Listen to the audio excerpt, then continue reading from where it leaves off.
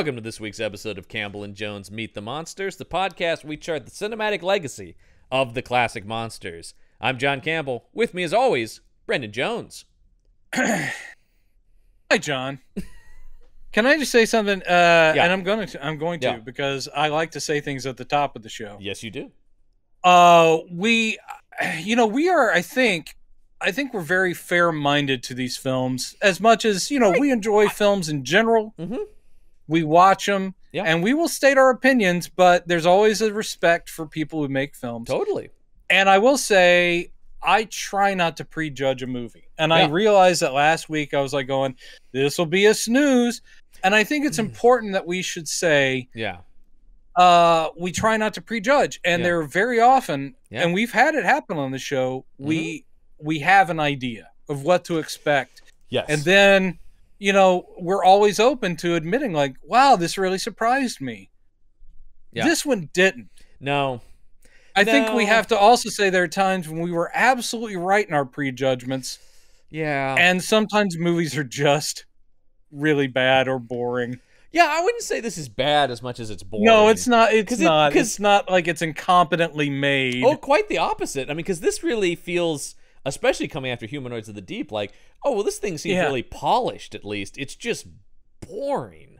It really seems like a studio trying to class up what they know is genre material, Wait, but their idea of classing up equals boring. It's this whole thing that I got that I get really upset about where there's these film snobs who want to create this new subgenre of prestige horror. Yes, like Jordan, prestige horror. Jordan Peele is prestige horror. And all that means to me is you people just want to find a way to feel good about yourselves when you say you Yeah. liked a horror movie.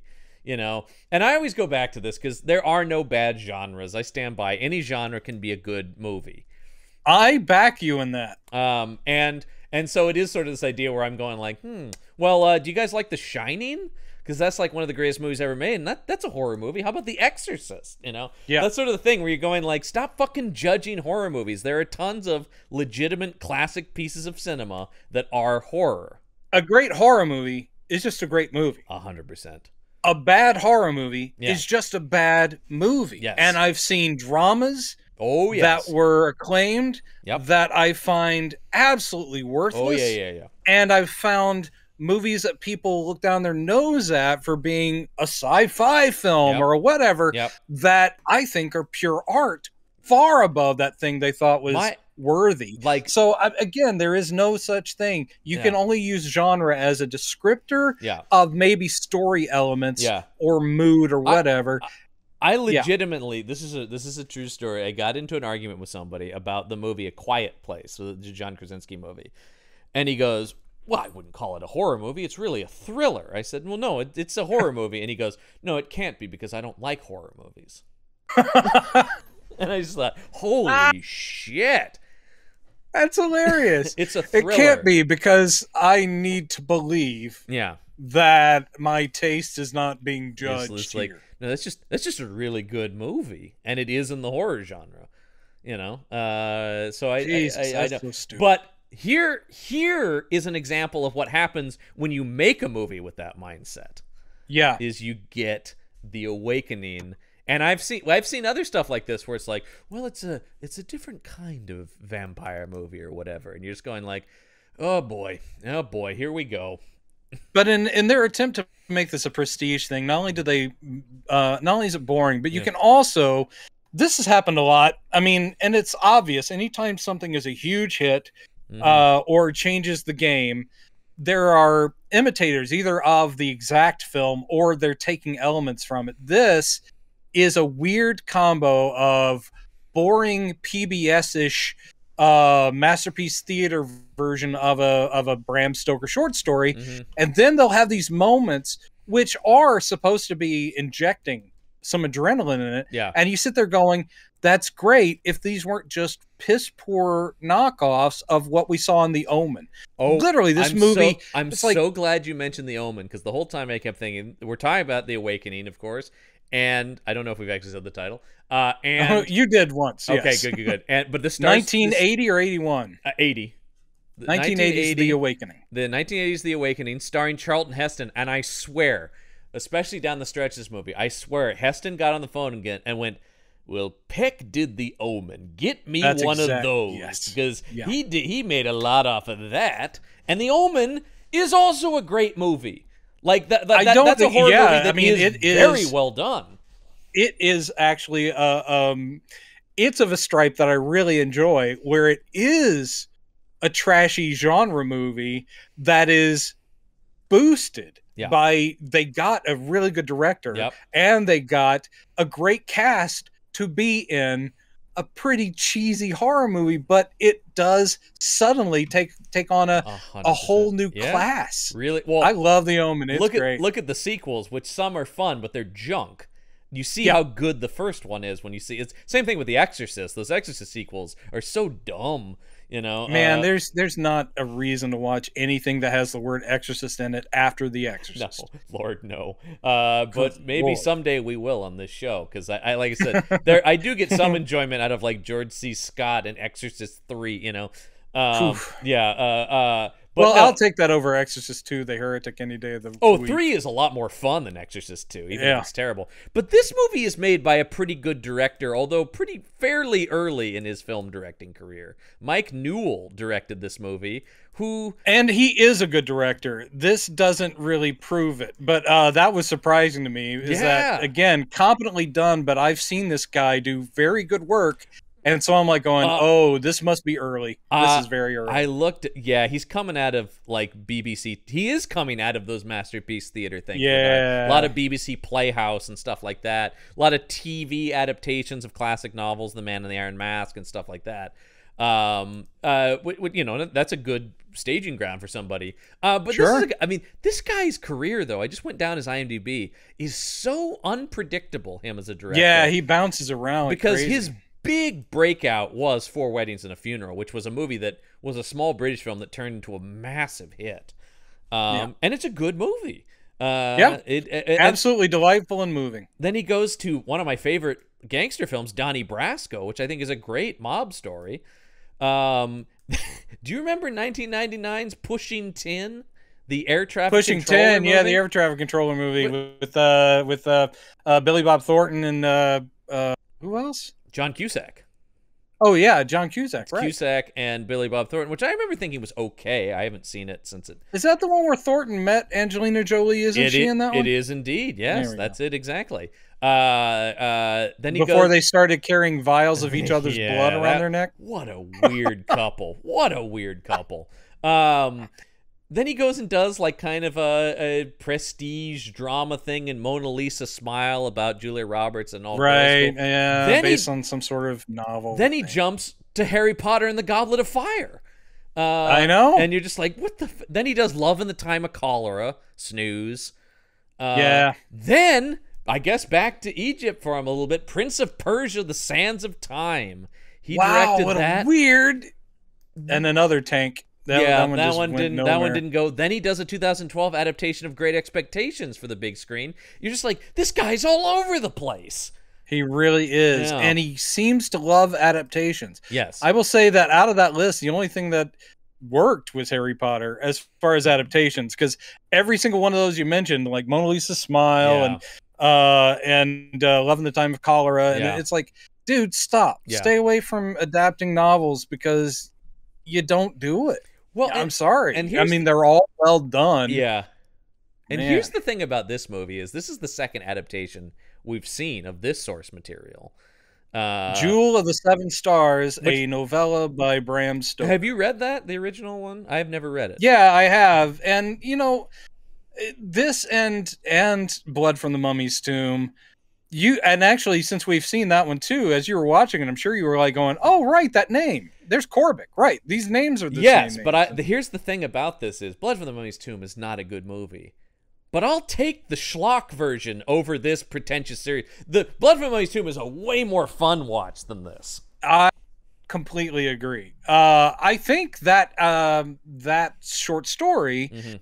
and even here watching this, I'm like going, "Blood from the Mummy's Tomb didn't get it right." Mhm. This one doesn't get right. There's Yeah. still a good movie to be made from Jewel Uh, of the Seven 100%. I'm, Stars, I'm on board. which isn't it. like an amazing story, but it's good, Yeah, and well, this one bores you, and the other one is trash. But I would much rather watch Blood from the Mummy's Tomb any day of the week. I, I mean, this is something we Um, say over in the action shelf all the time. If the movie's not going to be like good on a on a base level, then at least be fun. You know, At least be fun. that's Yeah. the thing. The, the, to me, the one of the worst crimes you can commit as a film is being boring. Uh, Which is why this film was arrested. This film actually spent years in jail. It, I, in fact, I think it, it, Uh. it got out on good behavior just a few years ago. Um, it was it did it was well behaved in prison at least. Uh, because I will say, watching this, I got about halfway through this thing and I go, I I would honestly rather be watching Humanoids from the Deep. Legitimately, Yeah, that was a much easier watch, despite being a much objectively worse film. But I I flew through that thing.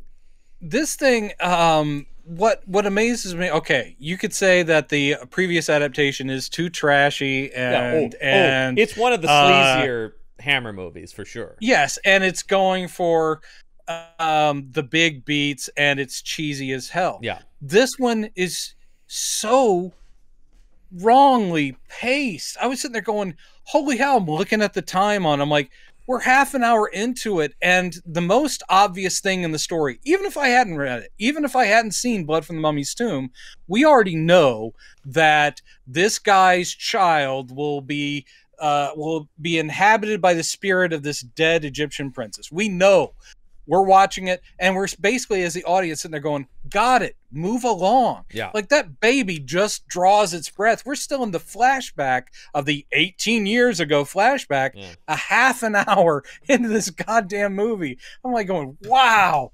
This thing is so sluggish oh it made me so mad it's like you can do this story you can do this story and do it well and this is not the way to do it No, it's not. And actually, we were just talking. I'm just sort of. I, I I forgot to do this beforehand. I'm just scrolling through the IMDb. oh right right here. right sorry we haven't done all the things we need to do Well, I'm just scrolling through the IMDb trivia here, and it just because we were talking about uh, Heston and the Omen, I did not know that Heston was offered the lead in the Omen before Gregory Peck and turned it oh. down. so now this one makes even more sense. Where he goes, "I'm not gonna let another Yeah. one of these get away." that that must have just eaten at him God damn it, Peck stole another one from me. I like creating this imaginary rivalry between Gregory Peck and Charlton Heston that I don't think yeah which i'm sure didn't actually exist I don't think all. of them as similar actors beyond just sort of being like you know handsome leading man of the of an era. peck was an actual actor Oh, Peck, and Peck heston is a movie star and we make that dis- distinction a lot Well, and here's the thing when we're talking about this being boring is you have a guy who can go over the top and be so fun. That I was excited to watch the movie because I thought, oh well, if Heston's here, he'll sink his teeth into this. Yeah. and he kind of does, but not. you're expecting pretty- some melodrama and Yeah. you don't even get that I will and, say, and it's the, the weird the highlight of the movie is him saying, "You evil bitch," but Yeah. that's right at the end, and you're like, "Yeah, where was this the whole movie?" God damn not you! till that moment you where evil basically goddamn mummy. you can hear his thought process. It probably wasn't even in the script. He's like going, "I've got to give the people what I what they want, Mike. Yeah, Let me give the people what they want. Mike, I I'm going to use the B word and just I keep say rolling." this on every picture I make, Mike. Where's your get your stinking paws off me, you damn dirty ape? I need one in every picture. I had Soylent And, Green uh, as people. He does get that here, Yeah. but it does not Yeah. help.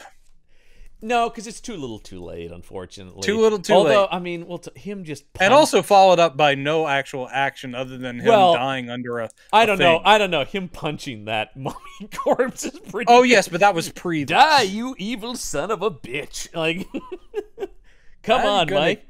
Get, Get the hell out of this I know- foam rubber mummy. I may be an archaeology professor, but come on, you're telling me there's no way I can have a gun in this picture?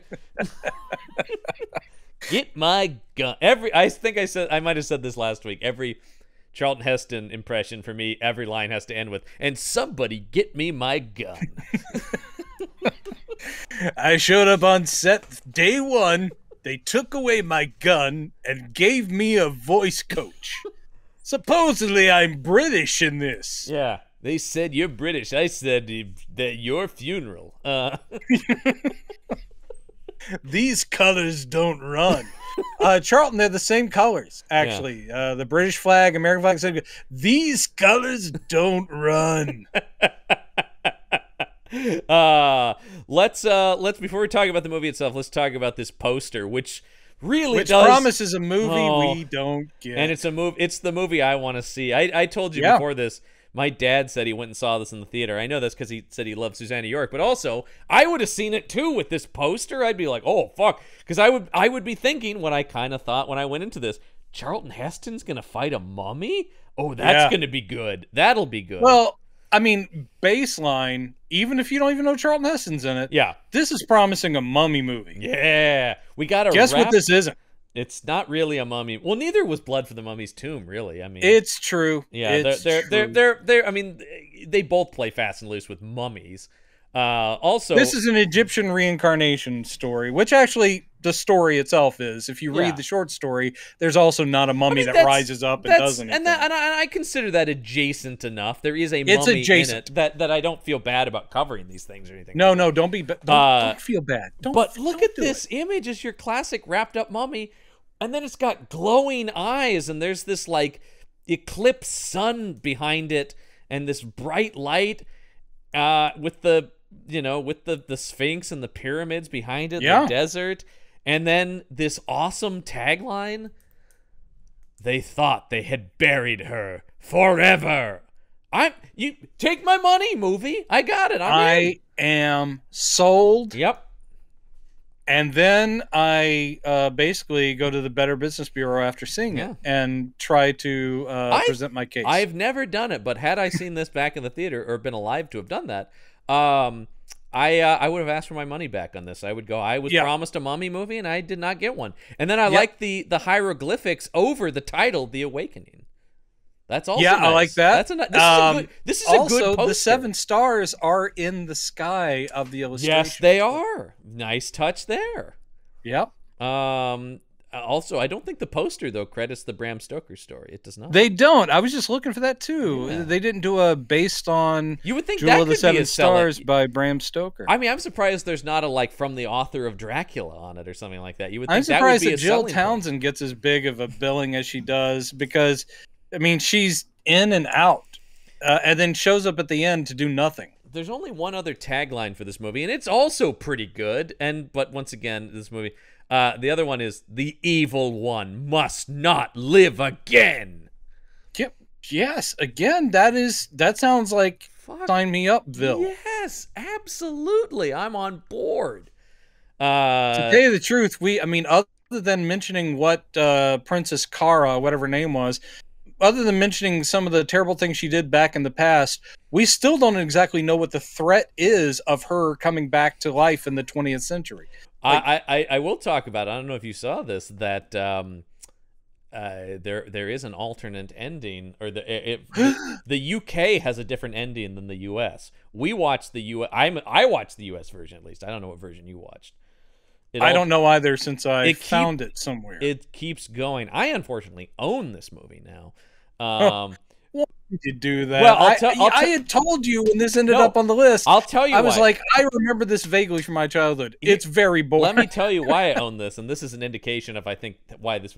It was cheaper to buy this movie than to rent it. Uh, That was for me on iTunes. I paid less to own this movie than had I rented it. So okay. it was deeply discounted. So Now I'm reading the alternate ending here on IMDb. Yeah. Um, I, that sounds pretty cool. I mean, it's It still doesn't do much, but no, no, no, no, no. I'm not saying it does, but at least it's something. It's kind of a super Yeah. villainy ending. Um, For the UK DVD, the film ends with Margaret stepping outside the museum at night, and Yeah. her shadow is superimposed over the skyline of London to suggest her evil or plan. that's actually kind of a more hammery ending. Actually, that sounds like Yeah. a Hammer movie. I guess maybe that's Sounds like a pulp ending, but know, uh, like we that. didn't get that. Um, let's talk about the movie we did get.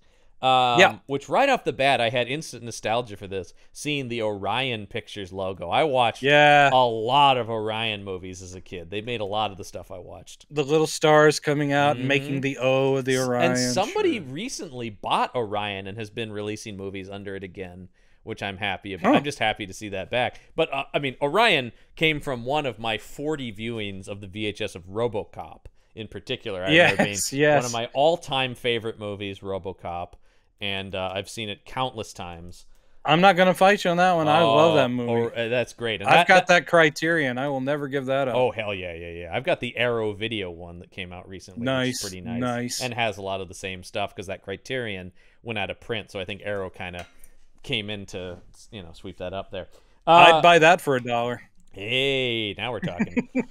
uh, can I sneak in a Dead or Alive? You're coming with me? I don't know. Let's see. Uh, Uh, so we start here on, and uh, I, once again, I'm just doing this now. I'm just skipping forward through these opening titles because here, Of I'm- every uh, uh, mummy movie, because it's always just going to be the same thing. Yeah, because you're just going like, here it is. It's it's rippling water and the reflections of Egyptian, you know, uh, Yeah, monuments. There's a stuff like sarcophagus. Yeah. There's the pyramids. There's some hieroglyphics. And hieroglyphics. just by using the skip forward 30 seconds button, I'm like, okay, now it's the Sphinx. Now it's this. Got it. I just watched it like a the slideshow. The score is very knockoff Lawrence of Arabia. It's all the things you expect. Yeah. Oh, the score is uh way It's o- not good. overdoing it on this movie. Yeah. Uh, it's so intrusive. Everything has a who. This can't comes to us. Well, I do get the impression. I, I would say that this was a bad score, but I get the impression that the the the composer watched this movie in rough form and was like, "Oh Jesus, I got to do something." So it is overbearing, but I think that was a choice because he's like going, "If it's not going to be the movie itself, it's going to have to be the music." This can't. Well, they will literally just show like a cliffside, and it'll be like, bah, bah, bah, and you're like, "There's nothing to bah bah bah about."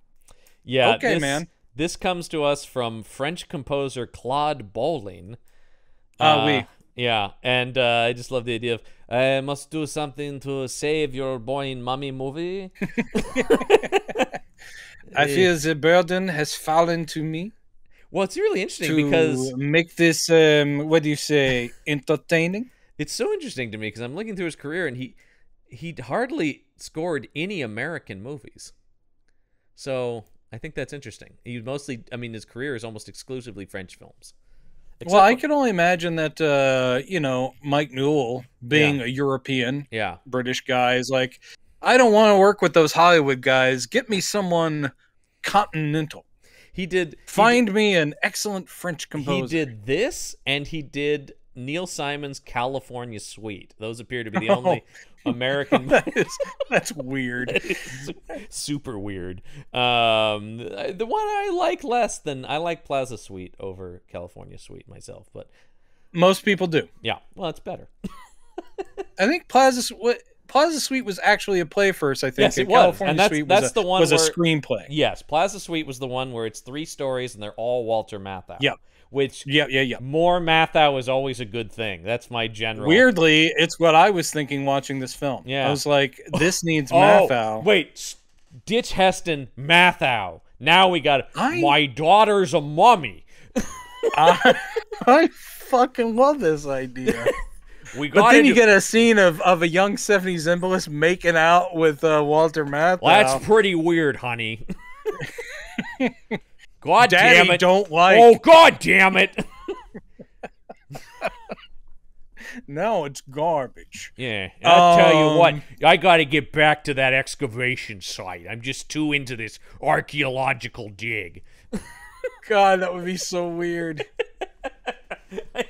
Matthau never really did anything No. bumping up against the horror genre, Not, did he? Not even remotely that I remember. No. no. I mean, he bumped up against espionage and crime thrillers. yeah, those those and he- actually did some. those and he made some good ones. I love hopscotch. Well, he and, uh, could. I mean, taking yes, a Pelham and, uh, taking uh, a Pelham uh, one, two, three. uh, a very unsung Charley Varrick, I think, is great. Charley Varrick. yeah. Yeah. I mean, the guy we always. You could- It's always the comedic version that that's the quickest thing, but that guy Oh, was great in a real- drama. That guy could deal- take it. Real deal actor. I mean, that guy was Yeah, real deal serious. actor. Both he and Lemmon were really good actors. Oh, that's why again you could put him in whatever you wanted, Yeah. and it's gonna be I don't awesome. think they ever did anything together though that wasn't comedic. All of Uh, their pairings were comedy ones in, in my memory. At I least think on you're film. right. I, I don't, I mean, I think know they, they, were ever paired in a drama, which is a shame because they both had those chops. they definitely did. But no, I think I'm pretty sure that them because when I think back, I mean, like their first pairing was the fortune cookie. which Here's is here's my big question though. satirical- My big yeah. question is: Are we talking about this to avoid talking about uh, Oh, a I'll talk about mummy anything movie? beyond this, aside from wanting to do a Charlton Heston impression. That's all. That's my only interest here. So we do open on on Heston. I mean, just the idea of Heston as an archaeology professor is ridiculous. Uh, well, we open on what I would almost call a ripoff if this didn't happen before it, Yeah. because it is very much the silhouetted Ah. sunset flat desert scene uh, and a silhouetted guy in a floppy hat walking back Which and forth thi- across the desert sands. this Heston is good at. He's good at being the pseudo Indiana Jones, you know, adventure. Right. guy. It's just funny that this is, we pre Indiana in Jones because it is that shot from Raiders. And I'm like, Well, God, had Raiders actually been a movie from the 40s or 50s, Charlton Heston probably would have been Indiana Jones. I mean, he definitely had very that, true. that kind of. This one, I will say that um, Ah. even in silhouette, and I know it's Heston right Yeah. off the bat, but oh, I'm like, yes. I was like, ooh, bony kneed old Heston. Ah. Because even in silhouette, I'm like going, oh man, those aren't the toned thighs of your Ah, youth, my but friend. his chest is still barrel shaped. yes, he is a barrel shaped. Ah, indeed. Let me whip this shirt off. Oh, it's getting so heavy and soaked through with sweat. I would have loved if like Mike Newell's like going, um, Chuck, Yeah. no, that's fine. No, it's not in the script. You I'm don't just- have to. I'm giving the people what they want, Mike. I I understand. I can we do an alternate take in which the shirt you. is on? This is the difference between a hit and a flop. I like your thinking, and it certainly is hot. Yeah. But perhaps leaving the Mike, shirt on ever, for a take. Have you ever seen a little picture called Planet of the Apes? I did. That came out almost 20 years ago. I Could you do me a never wore a shirt in that. No, not 20 years ago. That would have been only about 11 years previous. Yeah, was but that um, 68? yeah. Yeah, Yeah. But still, uh, yeah, it's it's uh, it is hilarious how often, and I wonder if it was his choice, but Yeah. he does whip that shirt off. Let me plenty. just quickly take this off. All right, go ahead and roll it, Mike. Uh, Don't worry about me taking it off. I have a tearaway version. he ah, just just grabs the collar, goes. now that's just falls better. off. I have these specially made. Even even really fit Indiana Jones era Harrison Ford doesn't take his shirt off as much as this guy does in this movie. Yeah, And yeah. Harrison Ford was jacked, particularly when you get to Temple was of Doom. jacked in Temple of Doom. Temple of Doom, where he does have his shirt. Obviously, that's where he really hit the gym because he was going to have his shirt off so much in that one. Uh, So he goes, hmm, look at this here. Mention of that name we've been looking for. Why, this might just be the lead we've always wanted. Yeah, it's uh it's him on a dig Yeah. and he's got the locals working with him. Mhm. Uh he is they never say he's British, but you can tell within the first few minutes that he's going in and out of a mildly British accent, I'm which doing is really the weird. best I can. They should have just said he was an American. Well, yeah, just- I, well, like, what does it matter? Just he no, could it be- doesn't add anything to it. He to could be an American professor based out of a British university. That's not weird. and at the beginning, we don't know the relationships, but there are these Yeah. two blonde women, one of whom Yeah. is pregnant. That Yeah. We okay, that's his wife, and she's played by what's her name again? Uh, I got it. uh, uh, Jill Townsend. Jill Townsend, thank you. Yeah. And the other one is uh is Susannah York. Oh shit. So all I can think in my head is, oh look, Moses and Superman's mom yeah, on an Egyptian dig. that's right. And don't, worry, pals, because by the end of the movie, I'll have them both.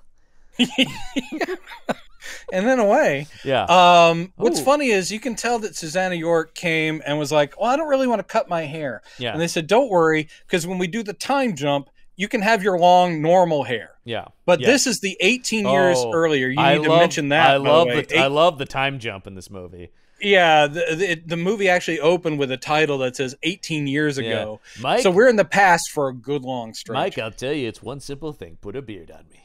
Yeah, that that's when they jump forward. trust me. Here he's clean shaven. Yeah, I and Susannah York that. is wearing a short, clearly fake Uh, wig bob. By the way, I'm looking at Jill Townsend. She is in one of my favorite unsung British gangster movies, Sitting Target. Have you ever seen Sitting seen it. Target? No. Oh, with a totally unhinged performance from the great Oliver Reed. Oh Uh, boy. Uh, yeah, he's just a total nut job in this movie. Oh, I love the the the, the tagline on the poster. I you I are was- looking at an animal. right? And he's aiming a gun right at you. Oh, it's a great, just nasty British crime movie of the early 70s with him and Jill St. John and Edward Woodward and a young Ian McShane. Oh, Wow. I'm telling you, it's a good time. Sitting Oh, she had a long, respectable career. Well, not long. well, uh, I- the other thing I see here, uh, another movie I love, the Seven Percent Solution. She's in. Yeah, uh, and I also see she's she- Sherlock's mom. I also see though she was married to Nicol Williamson in, in real life. Oh wow. Yeah, uh, who of course, for those who don't know, played Sherlock Holmes in that movie, um, which is great. Indeed. In- And also Indeed. Merlin. and also, she did an episode of one of my favorites, Space 1999. I wish I liked it. Even as a kid, I was bored silly by that. Oh, I love Space 1999. You don't need to borrow my Kino Lorber Blu-ray uh, of it uh, anytime Nope, soon. I'm All good. right, all right. Some I was us, supposedly excited by it because it was a space show, yeah, and then I watched it as a kid, and I was like, "This is boring." yeah. Uh, I loved it. I just love Martin Landau in any I do too. Landau's I the too. best. Uh, so yeah. Uh, meanwhile, he goes back to his tent where his wife, Jill Townsend's like, Why, you barely even pay attention to me out here. You're always on about your archaeological dig and you're obsessed. And he's like, God damn it, honey. Well, it's almost. It's also. It's like, um, excuse me, wife, Yeah, uh, of an Egyptologist, yeah, an archaeologist. yeah. What were you expecting? Also, you are eight months pregnant. Yep. Why are you on this dig in Egypt with your husband?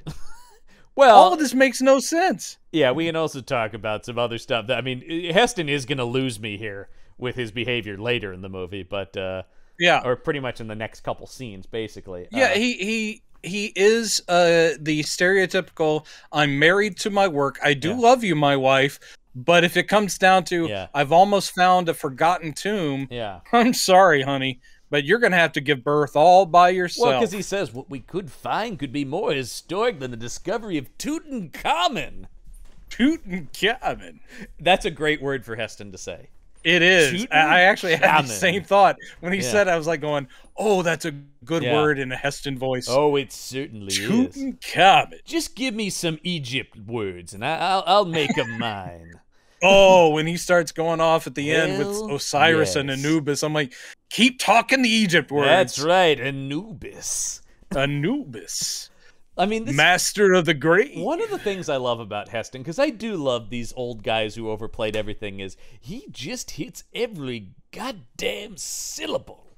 Yeah, You know, he just there's Yeah. no- he just makes a meal out of every. it's a line. clenched jaw type of Oh, acting, and it is just like I'm biting off every single consonant, Well, and the thing is, to me, it always and felt like. even some of the vowels. Well, the thing to me, it always felt like he was in pain, right? He's like, I gotta get this line out.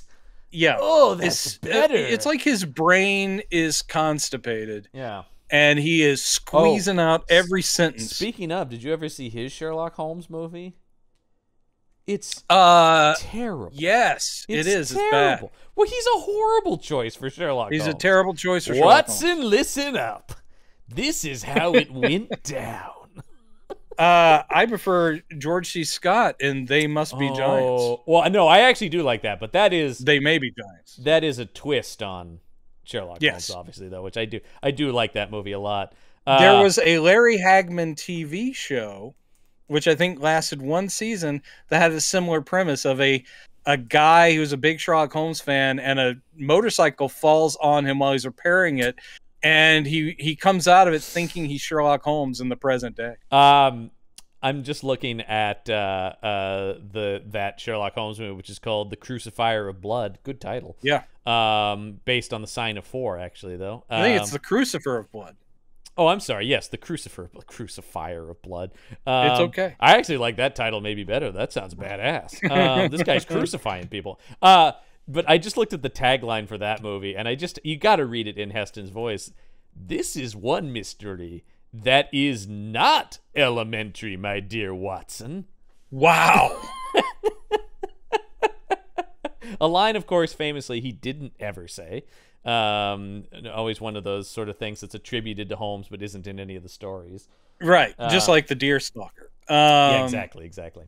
Uh, but- Uh, the Larry Hagman it, it was a TV uh, movie that Well, of was course. supposed to be, uh, been a pilot for a series called Alias Sherlock Holmes that didn't la- that didn't yeah. get Well, picked up. Who didn't want to watch movie's Larry called- Hagman play Sherlock Holmes? the the uh, the TV movie pilot was was shown as the return of the world's greatest detective from 1976. Great. Starring Uh-huh. Larry Hagman. Great. Great. yeah, and and uh, his psychiatrist because the he's a motorcycle cop. His psychiatrist's name is Dr. Joan Watson.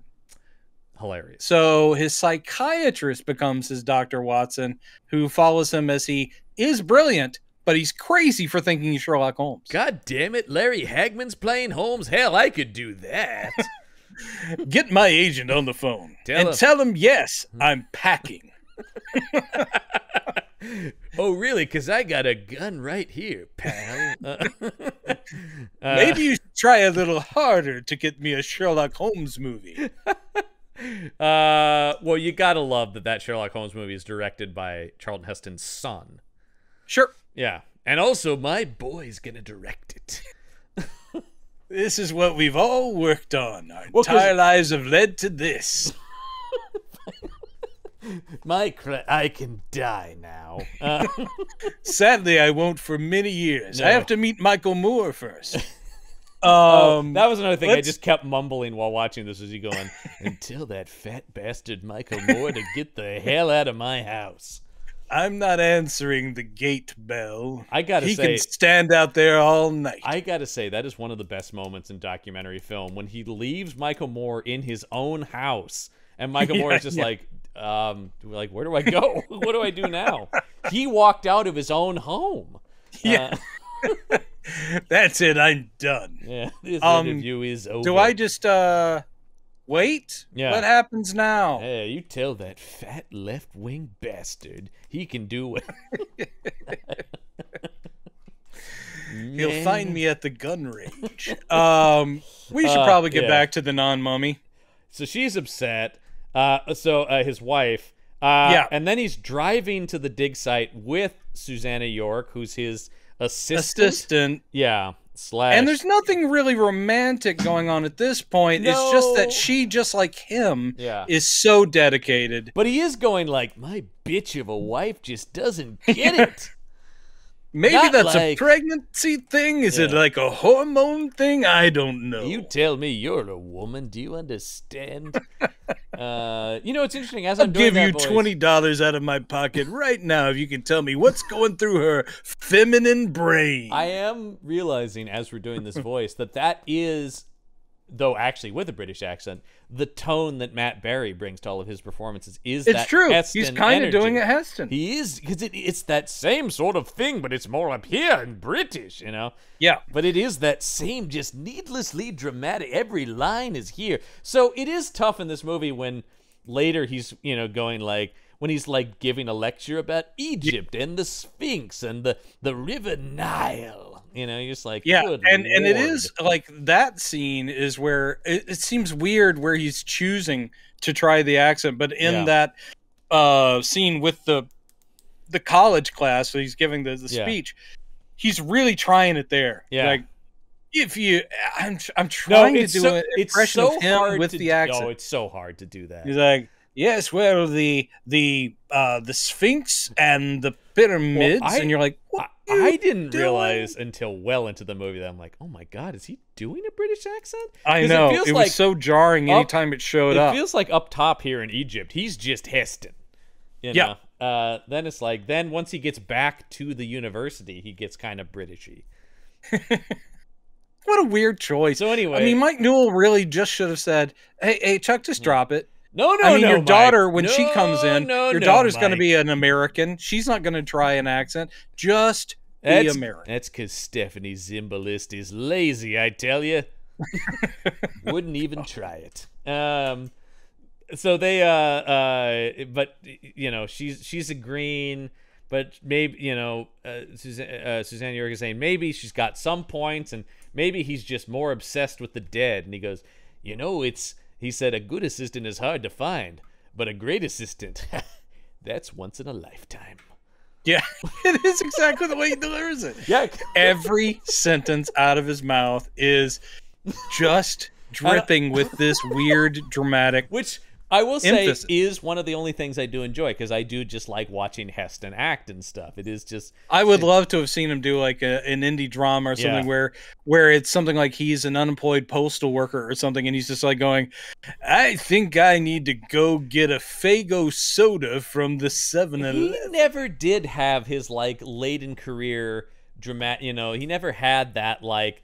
Oh wow, this is really the like eighty year old Heston given the Yeah. acting his heart out. Now he never did do that. It was never like now they'll see what I'm really made of. Don't you understand? I don't know who you are. I have Alzheimer's. There is an amazing quote, and I'll find it and read it on here at some point on his IMDb about having Alzheimer's or Oh, the that's- prospect of it or something. I don't. I don't know that he actually did have Alzheimer's. I don't know. Uh, no, I think there was dementia, which I mean, I guess it's similar, but he did start losing. Uh, I think a lot of his uh, memory and stuff towards the end. Yeah, and he's not- there's a thing where he's talking about it, and it's it's such a fucking Heston quote. I'll find it. I don't have to get to it right now, but uh, uh, it's it's it's pretty great. Um, uh, so yeah, uh, so they uncover the uh, hieroglyphics.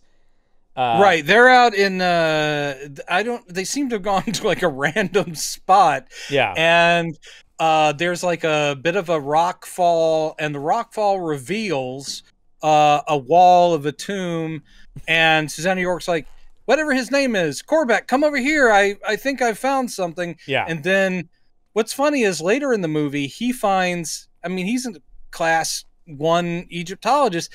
And later in the movie, he looks at a thing and he reads hieroglyphics, no problem in a tomb. But here he's like, what does it say? And she's the one who goes, uh, the the undying one or yeah. can't be released or is waiting for the man from the north. Yeah, it's it's Uh, it's, it's basically nonsense. a warning about this. She died and she will live again. By the way, just as I'm scrolling through this, folks, uh, listeners, do yourself a favor and just go through the IMDb quotes section for uh, uh, uh, Charlton Heston because there's some real amazing stuff in here.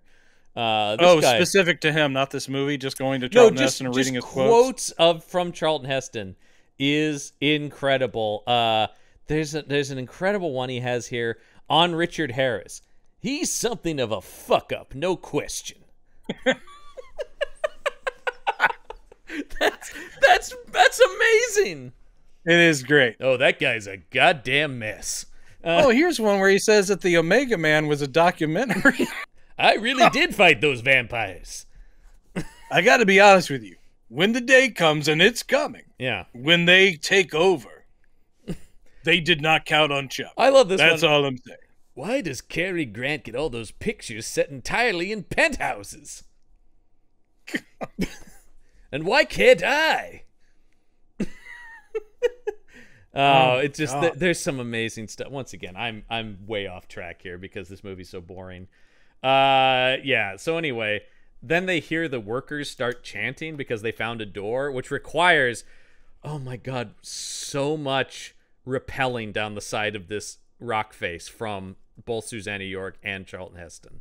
They find this natural um, formation, which is like a narrow, um, two-sided cliff, like divide between two cliffs that they do endless shots of. Mike Newell's Oh like, God, I it's so love the look of this thing. Uh, so I'm going to have them hauling things up and bringing things down, and I just maybe they did those all in one afternoon because he's like going, keep the camera rolling on this outcropping. This is awesome. No, and it, and Uh, you just watch you watch them just painfully descend down this thing. Yeah, everything is so drawn out and slow in this thing. And so we get to see equipment brought in, uh, things hauled up. We get to see when he finally finds the door, there's conservatively eight minutes. Okay, I'm joking. Of him like uh moving. There's a shot in the crack between the wall of the cave and the door And there's like this shot that we keep coming back to of him poking out little bits of rock between these things. I'm like going, you know, just one would have done. You know, just open the door. All the stuff is like, I'm almost missing the universal stuff. Is like when they found a tomb, they were inside of it in literally 20 seconds. Do that here. Instead, Nope, they're nope. like, oh, hold on. And she's the one, uh, when they finally do get it open, Susannah York's the one who's like, maybe we should wait. He's like, I'm going in. Hold me back. I'm in. There is in the trivia for this movie, there is Charlton Heston talking about um all this research he did about Right. It's Egyptologists. and, you know. Boy, it's all up there on the screen, John. I know, right? I just love the idea It really informs his him character. talking It- it about just- poring over biographies of Howard Carter and you know and I just got to say, if you were that bored, great, Yeah. man. But it, it does nothing for this he film. says I he says every, everything is in this film is key to the discovery of Tutankhamun because He's it's just the only material available. he's just doing a Charlton Heston character. The guy, like I said, I love him, Mhm. but he was just this character. He had no shades to him. Uh, he's either sort of noble like Moses, or he's a gritty, you know, Yeah. tough guy. But it's just the same dude. And that's great. And in this one, every now and then with a British pronunciation that you're like, "What are you doing, I man?" mean, one of my favorite roles is Charlton Heston as Nick Fury in True Lies. yes, yes. That's great. um, Dum Dum, you are a crazy one. Of all the howling commandos, you're my favorite. can we talk about the, Don't what- tell Gabe Jones I said talk about the fact that Tom Arnold and Charlton Heston have shared the screen? I mean, isn't that crazy? Yeah, it does take me to a place in my mind. And not necessarily you know what, place. Tom? You're right. This Roseanne does sound like a total bitch. If I were you, and let's keep this off the record, you know, sometimes when you're cleaning a gun, it can just go off. And no a reason. jury would never find you guilty. So, They've seen her on programs. as we I think you would be lauded. As he's smashing open this door with each hit, we cut to his wife grabbing at her pregnant belly, like, oh, oh no. This is overdone and it, just like everything else is stretched out, but I did think this is kind of cool. I mean, they're trying to do a little bit of that eerie suspenseful supernatural thing. So yes, every time he is opening or breaking his way into the tomb, we cut back to the wife who is now in labor. She's having terrible labor pains with each smack of the wall. It's like, ah Ooh. Mm-hmm. Um, and you're like, I wonder if these things are connected. Yeah. Uh, so uh, let's see. They they explore the tomb. Oh wait, is that? Hang on. No, no, no, no. I, I jumped. I jumped ahead. No, there's. Don't ever Of do course, that. there's more in this movie. Um, as he pounds open the door, um, they find the shrine to the missing princess, and this is where they get her name, and it's Kara. Yeah. Queen Kara. Amazing. Um, what is this? He stomps. Sometimes I can't read my own. Oh no no no no! It's Heston is psyched. It looked like he stomped. Oh, He's like, finally we did it. My life's work complete. yeah. He's like oh, going, this is the and, and I mean he again he's a pretty good actor. Yeah. When they get into the the tomb and it's it's all full of all the things you'd expect, he's like untouched. It's never been it's complete. No one's ever seen this in centuries and he's all overwhelmed. That's good stuff. Uh meanwhile he has no idea his wife is No, because when he, fallen to the floor of her tent. when he comes back to the tent, he's like, "Baby, I gotta." Oh dear God, she's on the ground. Yep. And so they load her into a truck, drive her back to the city. This I love it. It's like she is catatonic Mhm. Uh, when they find her, and clearly about to give birth. So let's put her in the back of a bouncy truck and get her to a, a field hospital whatever, a small hospital. I said she'll be fine. And then we're introduced to one of the most unexpected guest stars of the movie. We are. Yeah, Miriam Margolyes. Oh yes, yes, yes. This uh, we're introduced to a female doctor surgeon of this Egyptian hospital. She is supposed to be Egyptian. Um, she's speaking with the accent. Sounded a lot like Bobek, I gotta say, John. Uh, and Uh-oh, um, you're on to me. I you see where I've got that from. and Miriam Margolyes uh, is familiar, and I was so surprised to see her young, simply because almost everything I associate with her is from a later date. Indeed. But uh, she uh, was, well, surprisingly or not, in Harry Potter, the the Harry Potter series, um, in which she played uh, Professor Sprout, their herbology Yeah. professor. Yes. So it's like, you know, did did Mike Newell remember and decide to bring her in, or was she in the very first one? I don't know. She's in Chamber of Secrets. So she basically did show up with Mike Newell, and he's like, you know what? No, no, no, no. He directed Goblet of Fire. Oh, okay. So yeah, she got in there before he did. That's yeah. great. I don't even think. I mean, she is a, a British character actor that's worked steadily. She's not in the one he um, directed. She's uh in Age of Innocence. Yep. Uh, She's in uh, Baz Luhrmann's Romeo plus Juliet. Plays the nurse in that. yep. Um, So she's delightful, and here, uh, like I said, just weird to see young her because yes. she's always like adorable, roly poly, middle aged or older actress. But um, I didn't so even yeah, clock she- it. I didn't, even, I didn't even clock it was her when you said. oh yeah. I like, did. now- I now just you- like, but now that actually, you say that, I go, oh yeah, yeah. I was actually looking at her going, "Is that?" And then I had to look it up because if not, I was like, "Well, she has a twin." But anyway, what I loved in this scene is that Charlton Heston at least is showing concern. Mhm. You know, he's like, "Oh my God, my wife, uh, is she and the baby going to be okay?"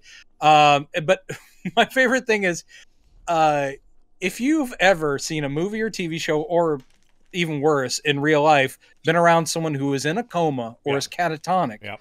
and you always do the thing of can they hear me Yep. should i talk to them the answer is always we don't know but it certainly could help. It's like talking to them very often does help. In this movie charlton heston is looking at his catatonic pregnant wife and he goes can she hear me? And then this doctor lady turns around and goes no. Yeah. Definitively not. i just loved it. It was so coldly delivered too. It's like no in fact you're an idiot for even asking And so then he goes, okay, well then there's nothing I can do. I'm gonna get back to my dig site. that's essentially what it is. Is Yeah. like essentially he's like, "There's nothing I can do for her." I'm like, no. He's like, "All right, I'm gonna get back to my dig. Let me know if there's any changes. Well, and- Here's my number at the dig site." And this doctor's like, "Are are you sure?" He goes, "Well, what could I do if I stay? Like, should I not?" And she's just like, "Well, it's up to you." But it's kind of going like, "But yeah, you should fucking stay, Yeah. asshole." yeah, he's being judged right off the bat Yeah. because it's like that is cold as ice. Baby, there are tombs to unearth. You know, she'd understand. I mean, if she could hear me, though she clearly can't. She always told me to put my work first. Um, I mean, we did have an argument earlier about. You know what? It doesn't matter. See you later, Doc. But he goes back to the dig site. We see them break through this wall. Yeah. And of course, as soon as they break into his room, the wife wakes up and starts screaming. Yes, and uh, it's a good scream. Yeah. And then as they're exploring the tomb, we see the doctors pulling the baby out of the wife surgically. Uh, because I do love his. Oh, Heston had a great line earlier where he goes, She can't be in labor. That's impossible. The baby's not due for two months. And you're like, You ever heard of a premature baby, Charlton Heston? No, And two months isn't even a crazy. You know what? premature. Pretend I'm like a fifth grader. Can you explain it to me? What Yeah. happens? Well, the baby comes out before it's supposed to. No, I'm gonna need you to dumb it down a little. The smaller, younger version of a human. You've lost me. I, you, I You know what? Draw me a diagram. Gotta go. is this Tombs about, awaiting. Is this even about mummies at all? Yes, that's right. So as they're looking The around, question I ask myself very often through this movie. as they're looking around, we see the doctors trying to revive the baby. Doesn't work. The baby's dead. Yeah, it's stillborn.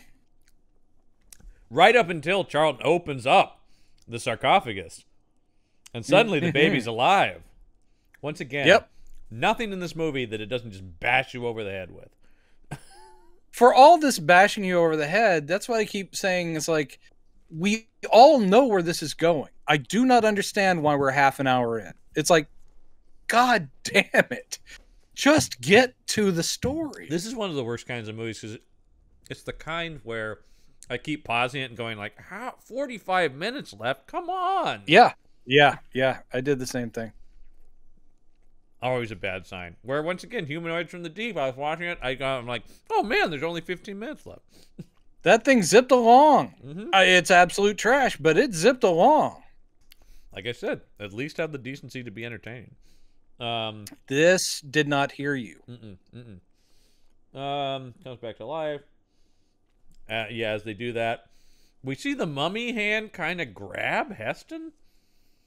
Well, it's a weird beat, and uh, and you know I appreciated it because there's nothing in this movie really to hang on to as far as like supernatural thrills. Oh no! But when he opens the sarcophagus, there is the the mummies in there, uh, and he's like, "There she is, perfectly preserved," um, and he's leaning in close. This is again cutting back and forth with the little baby and all that yeah, stuff yeah, yeah, yeah.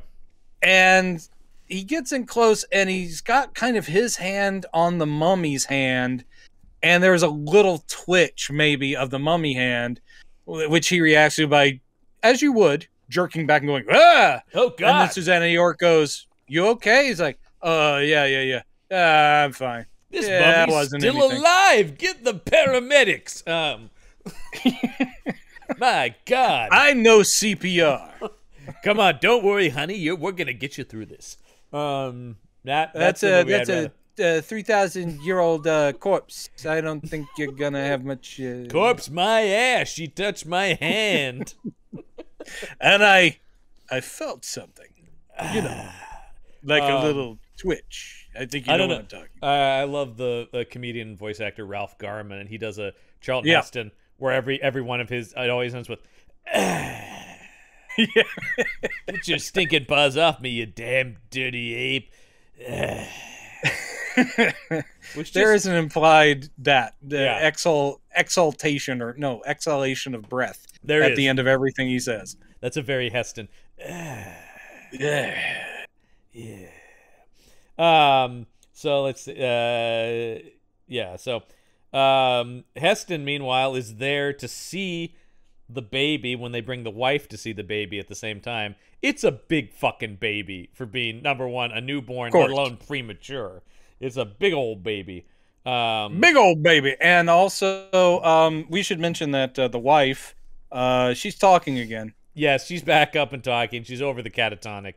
Though she is looking at, I mean, the whole time she's like, "Yeah, I heard you weren't, uh, you know, when I woke up, you weren't here, and uh, Yeah. guess you Well- were with Susannah York." Oh, I do like that when when when when he goes, uh, "That's the most beautiful thing I'd ever seen, our baby girl," and she just turns to him and goes, "You weren't here when I woke up." He's like, "Uh, well, I, you, you know, did you abandon me in the hospital while I was catatonic?"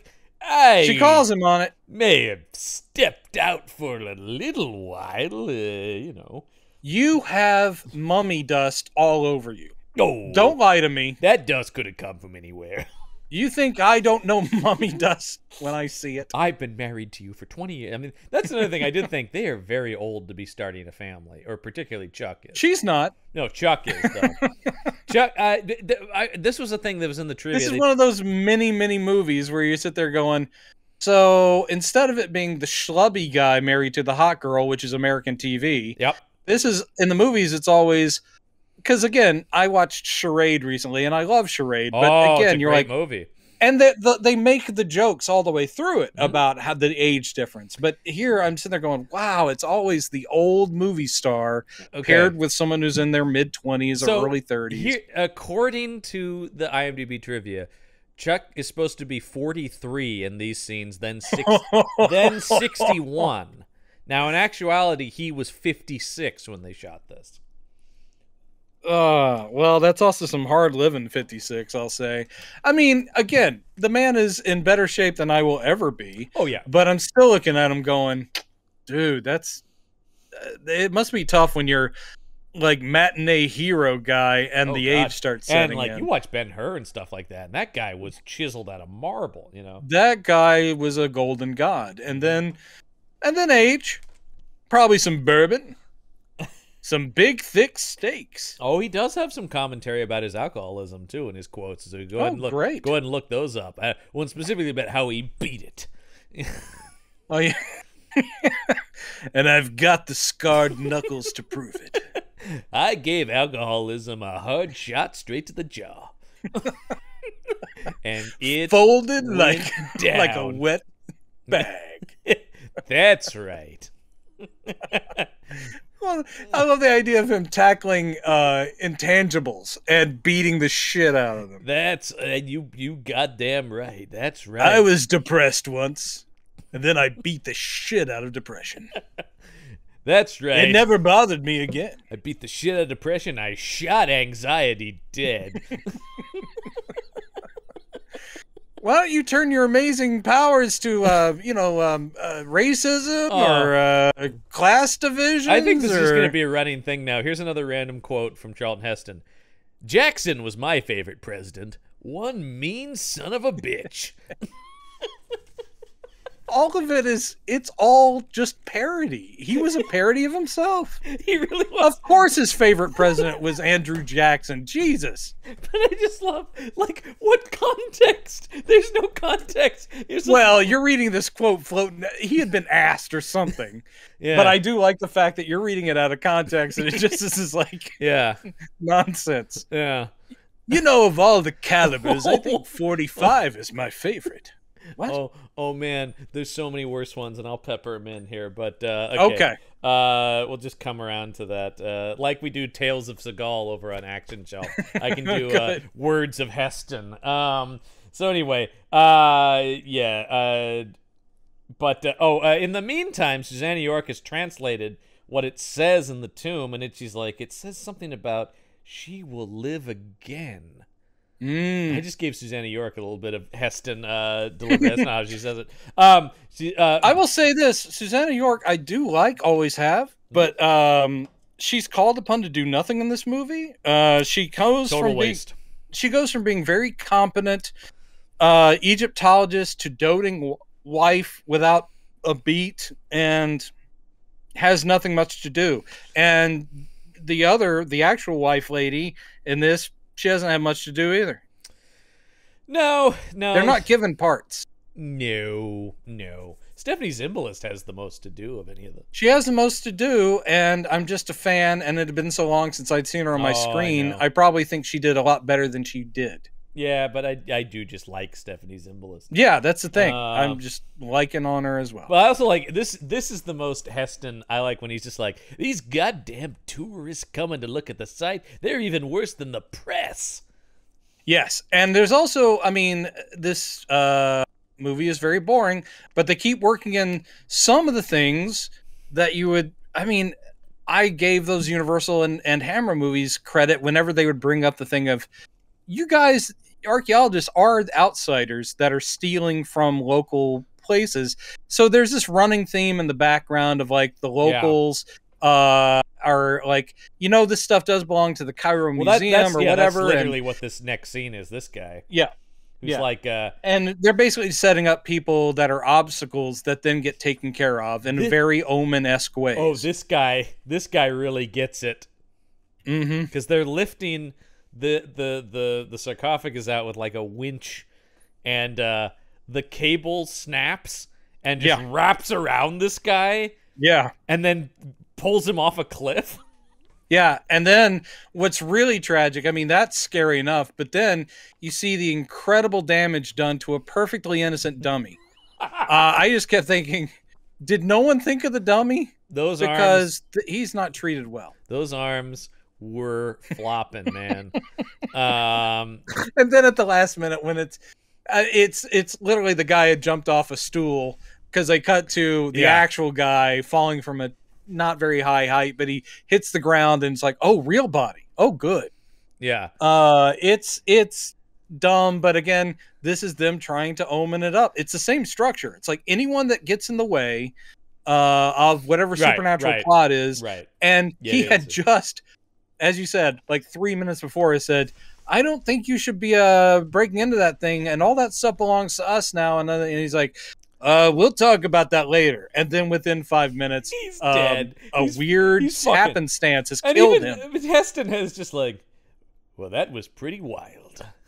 yeah, he does like do this sort of token reaching out, like I got you. Oh no, Because Well. because as the man said himself, hard is what I do best. I don't do nice. I, I, he, you know, at least he's very self-aware. Yeah, he's a hard actor. Yeah, Uh, I act hard. Uh, you know, with all due respect to Greg, I could have done Atticus Finch, only he would have been much harder. yeah. And another thing, he kills one rabid dog in that movie Yeah. to kill a mockingbird. Yeah. I could have taken out a whole pack. Scout, Whole get pack behind me. dogs. Daddy's going to work. Scout, you'll want to watch every minute of this. 'cause Daddy takes care of every rabid dog in Mississippi. You know, I thought To Kill a Mockingbird was pretty good. I did think it was weird when they went on that 20 minute subplot where Atticus Finch just shot rabid dogs. I love the idea There's of an one bang. Charlton Heston version of, of To Kill a Mockingbird. I can't imagine Ugh. him being like, you don't really know a man till you walk a mile in his shoes and you wear his gun. Scout, if Boo Radley ever does anything inappropriate, you let me know. Uh, because I'll take care of him with my Boo, I'd like to introduce you to two of my friends, Mr. Smith and Mr. Wesson. Well, Chuck had to be in the running for Dirty Harry, right? That totally seems like he would. It does. I mean, if John, for, if John Wayne and Frank Sinatra Yeah. were considered, Chuck had to be in there. Did I fire five shots or only six? Or actually, it's the funny that Sinatra around. did Tony Rome, and I'm sitting there Yeah. going, why didn't they uh, look up Chuck? Except for I think the Tony Rome movies were probably they were probably uh, too low lowbrow for him at that point. I love those Tony Rome movies. They're fun. Uh, They're good. I just like old detective stuff, though. As, as I know you do. Well established. Yeah, well Um, established, and the audience is getting a little bored of you talking about it. Let's move on.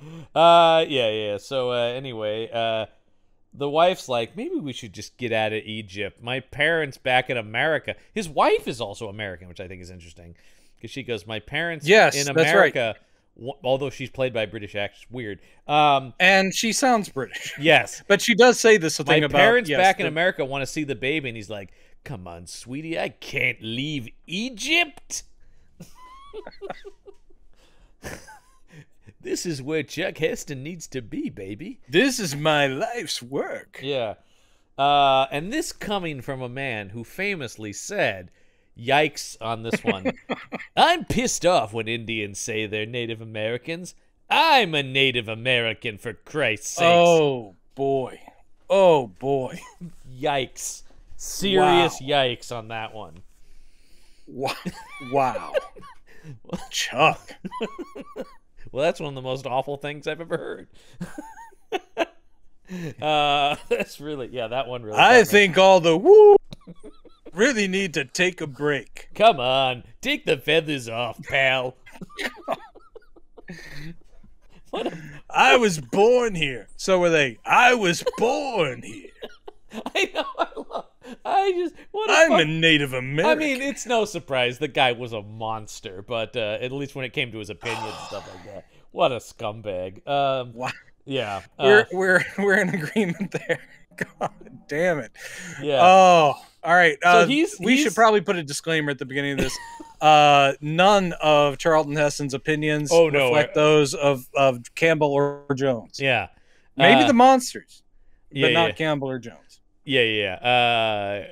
Uh, oh my god. Okay. Uh, yeah. Um. So uh, he goes to the museum uh, in Cairo, and uh, uh, he's mobbed immediately by press. I guess he's very famous now for this discovery. Yes. We uh, is this the time jump or no? This is pre-time. Not no, it's pre-time jump because this is where the guy at the museum goes. Well, obviously Right. this stuff belongs to Egypt, but we feel you should be Yeah. entitled to some of it.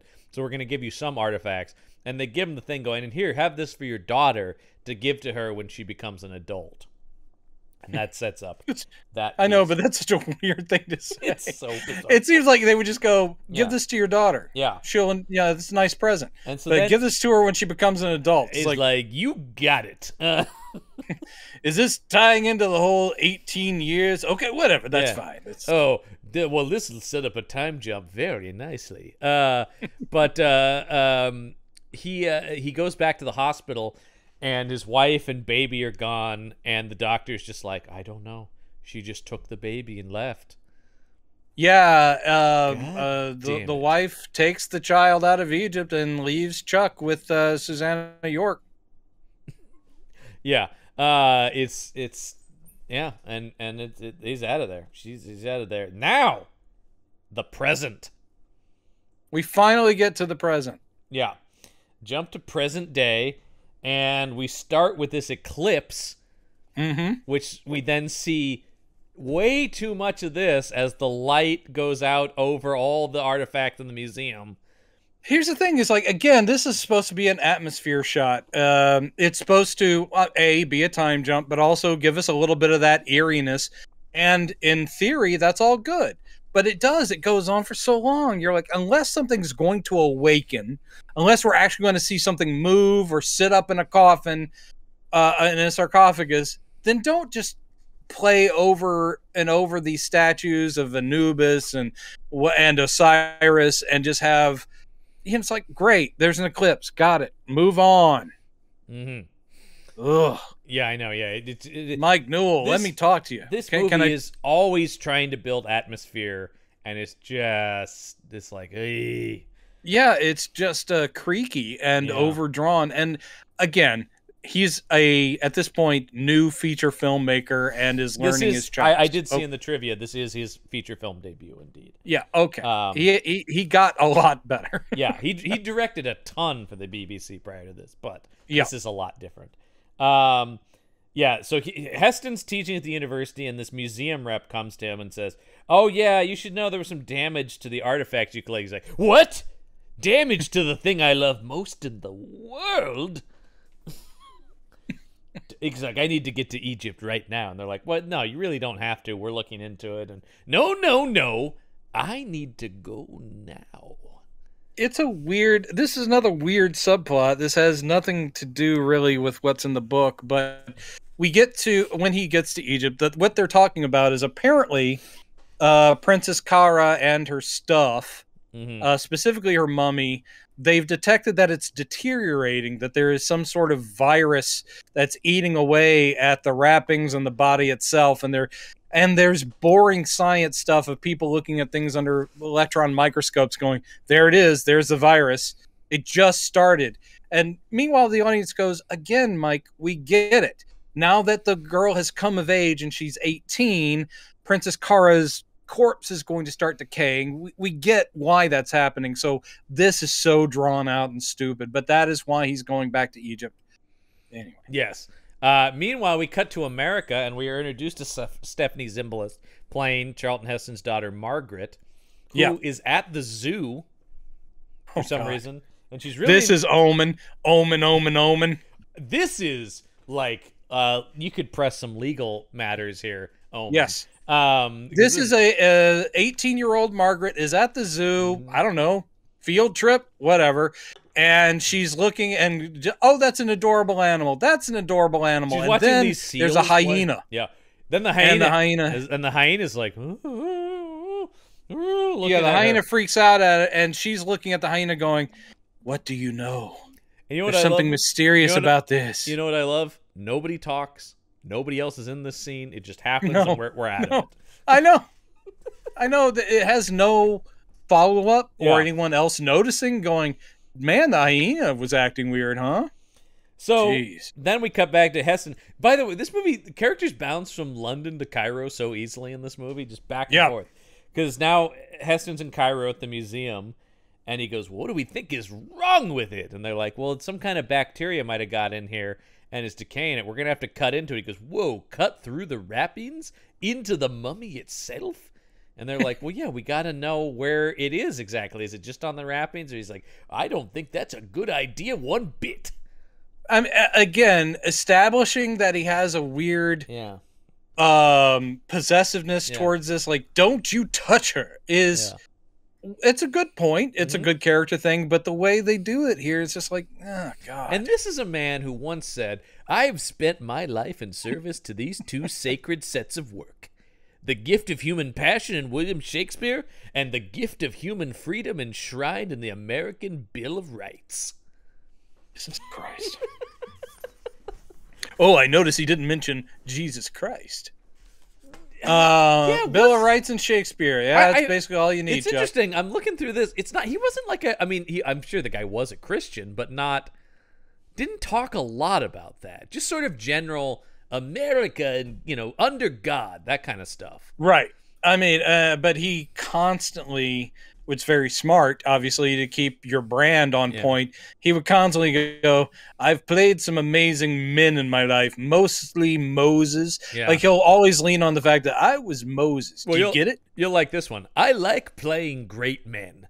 They're more interesting than the rest of us. Yeah, I, sure. Uh, anyway, the guy is such a strange dude. Um, oh, Chuck Heston. Uh, Can you? Can you? I mean, I, I, there's someone for everyone, but can you imagine being his significant other? I mean, that and he was that mar- he- personality. He, it just- only had one wife and was married from 1944 till his death in 2008. Uh, I don't want to speak ill of the dead, but uh, or even speculate on the dead. But Mhm. Do you think that guy was faithful? That guy? Um, at some point, I think he stayed faithful, older, but yeah, probably not young Heston. No, I can imagine that's a situation where, knowing the alpha male he was, Yeah. he probably married someone that he really genuinely loved, Mhm. and then made it clear to her, it's like. I'm going to get some on the side, and you need to be okay with that. It doesn't mean anything. It's Yeah. just Chuck being Chuck. He's got to get some strange. Look, when I was shooting Will Penny, uh, Joan Hackett and I, no.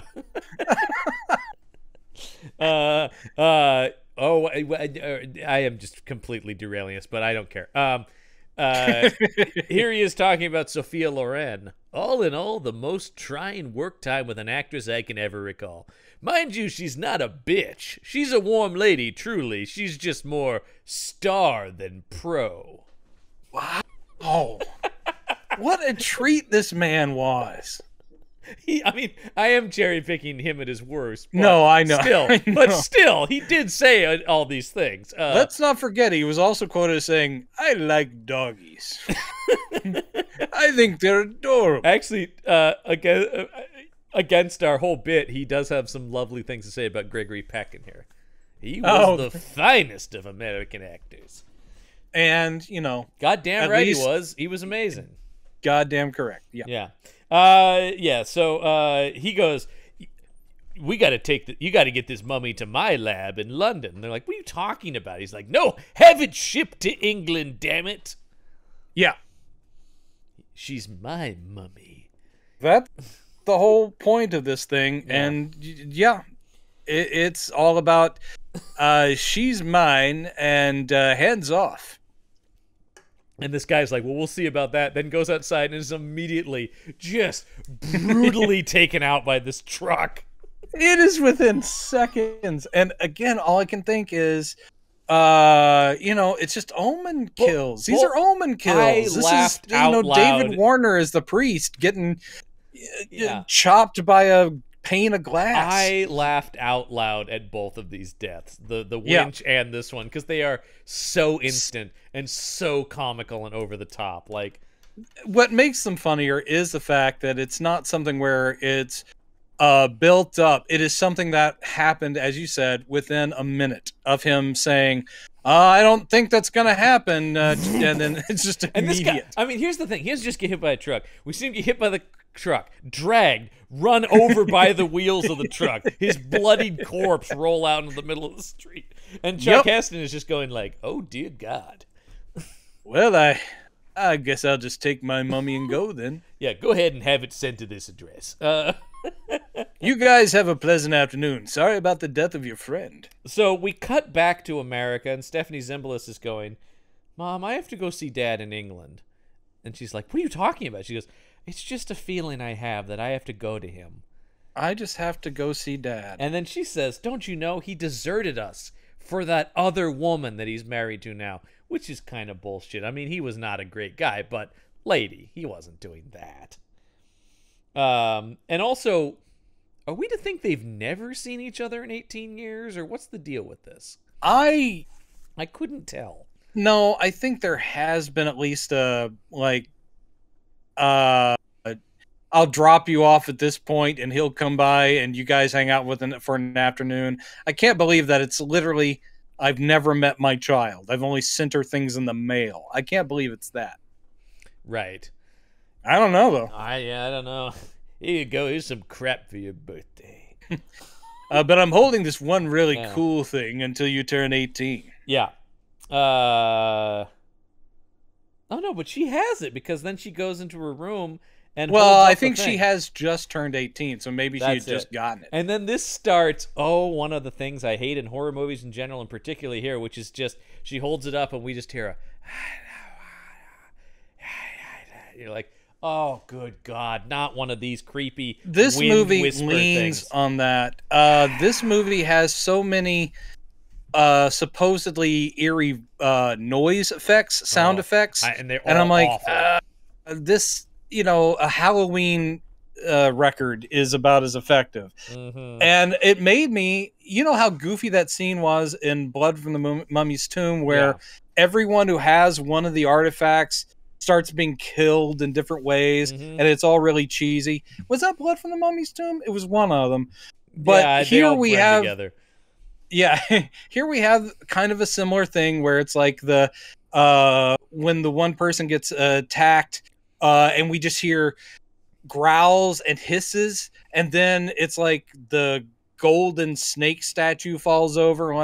I prefer like the dude that was freaking out in the asylum in the Hammer movie, and the like the movement of the snake shadow on the wall. That was more exciting. This is just so. Yeah. It's just someone a mic in a in a sound booth going. it's so dumb. Yeah. Uh no, it's it's absolutely dumb. Um so uh yeah, so the creepy stuff is going on. This is where he's teaching his class and talking about when I followed the river Nile. Well, yes. Uh, also, I do love at some point we've seen the inside of his study. This is maybe after the speech or before it, but I love they pan across. This is, I think, after the time jump. They pan across. He has written conservatively um, a million pages about uh, the Princess Kara Yeah. because they show a row of very thick books, all written by him Mhm. and they're all about that find. So he has spent 18 years writing about that Ooh, one hold on- find. hold on, I just remembered another thing about it. Let me write it down here. You know what? I skipped a chapter about me being sexually aroused by my assistant and how I didn't like my gross pregnant wife? I think I could probably fill that out to a full book. When you want me to have sex with her, she's got a baby in her, you sicko.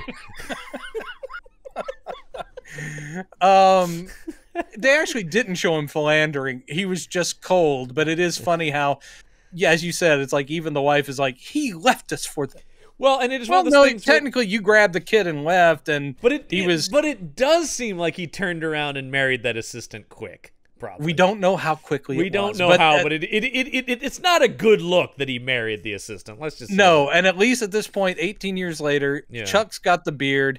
Uh, good. Susannah York got to whip off that stupid wig, and now it's just her normal hair. Yeah. But again, her character has changed completely from like, I am your, you know, equal, uh, an Egyptologist, and now she's like, Have you taken all of your pills? Mhm. Are you going to be okay? Well, Should I need- bring you some sort of blanket for your legs? Are you chilly? I don't need an assistant anymore. I need a wife. God damn it! I need a sexy mommy. Will you be sexy mommy for me? Great. Perfect. I need my fruit cup. Where's my fruit cup? That uh, yeah yeah. So he, he he obviously likes Susannah York uh, uh here, uh, but I'll tell you who he didn't care for. I never felt I was being ill treated by the press. Ill-treated by Barbra Streisand, maybe.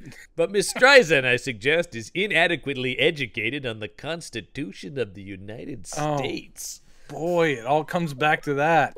Wow. I just love the idea of like, I- I don't even know. Like, I just love the idea of somebody asking him, "Would you ever feel you were ill-treated by the press?" And he just spins it to rag on Barbra Streisand, but also fuck Barbra Streisand. Am I right? Come on. I, I love the idea that he's he's uh he's sitting there. I, I can imagine him being the only student in his high school that did extra credit social studies homework. It was always sort of like Yeah. going, uh, his teacher's like going, Charles, this is very nice, but I didn't ask for it. That is the Constitution written in my own blood.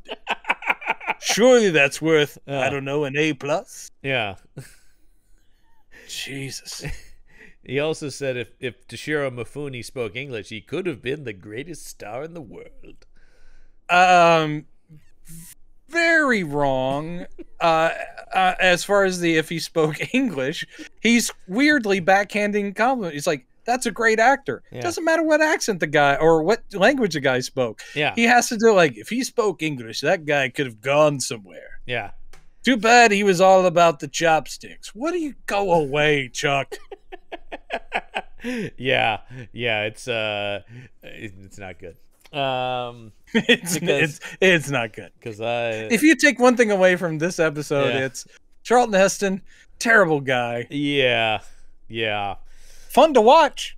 Very fun to watch cuz he is so uh is great. Uh Uh, I do like that they're here. He did talk about how much he loved Pulp Fiction, which I would not have expected. Really? Yeah, I loved all the guns in it. No, uh, Wow. no, that's not what he said. He enjoyed My favorite scene is when they brought out the GIMP. It reminded me a lot of my home life. Perhaps I've said too much. Yeah. And man, I don't I won't read the quotes, but uh, he really fucking hated Warren Beatty. Um Oh, I can see that though. That's two alpha males. That's that's. but that's mm, also that he that leftist hippie son of a bitch. Of course. Yeah. I mean, of course, is like I. I bet one of his favorite movies was Reds. Oh, he specifically talks about how shitty Reds is in one of his Wow. comments. Yeah. Yeah, they let him spend all that money on this piece of shit. Uh, is basically the tone of it. Yeah. Um. So anyway, uh, he's teaching his class. Stephanie Zimbalist shows up, and he's like, "Margaret, is Yeah. that my daughter?" Um, and they just instantly take her in, both him and Susannah York, and they're delighted to have her there. It's Yeah. so great. Yeah. Uh, And then it's weird. It's like they're having sort of domestic bonding stuff. Um, but then it's like, I wish I could show you her tomb. And then it's like, why not? I should take you to Egypt. And she's like, Oh, daddy, do you mean it? and they just fucking cut to them in Egypt.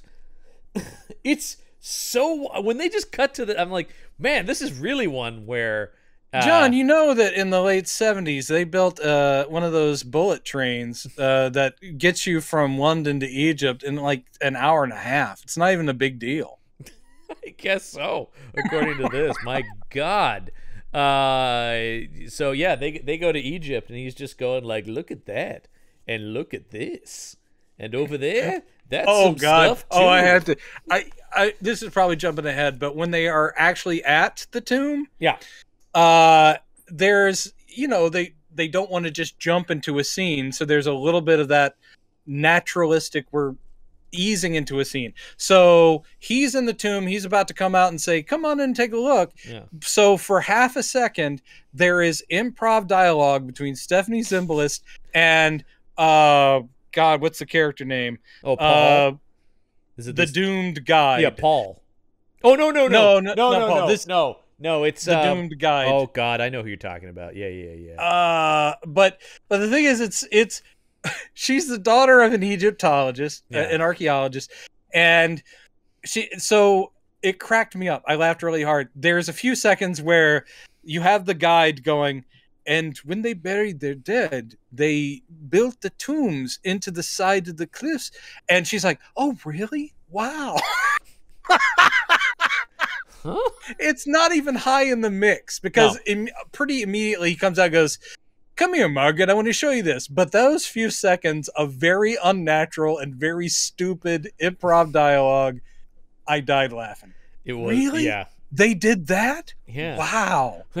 You know, anyone in kindergarten knows that the Egyptians buried their dead in these tombs in the desert. I do like the idea of it's like, uh, yeah, that's good you told her that. I always forgot to tell her about that, actually. yeah.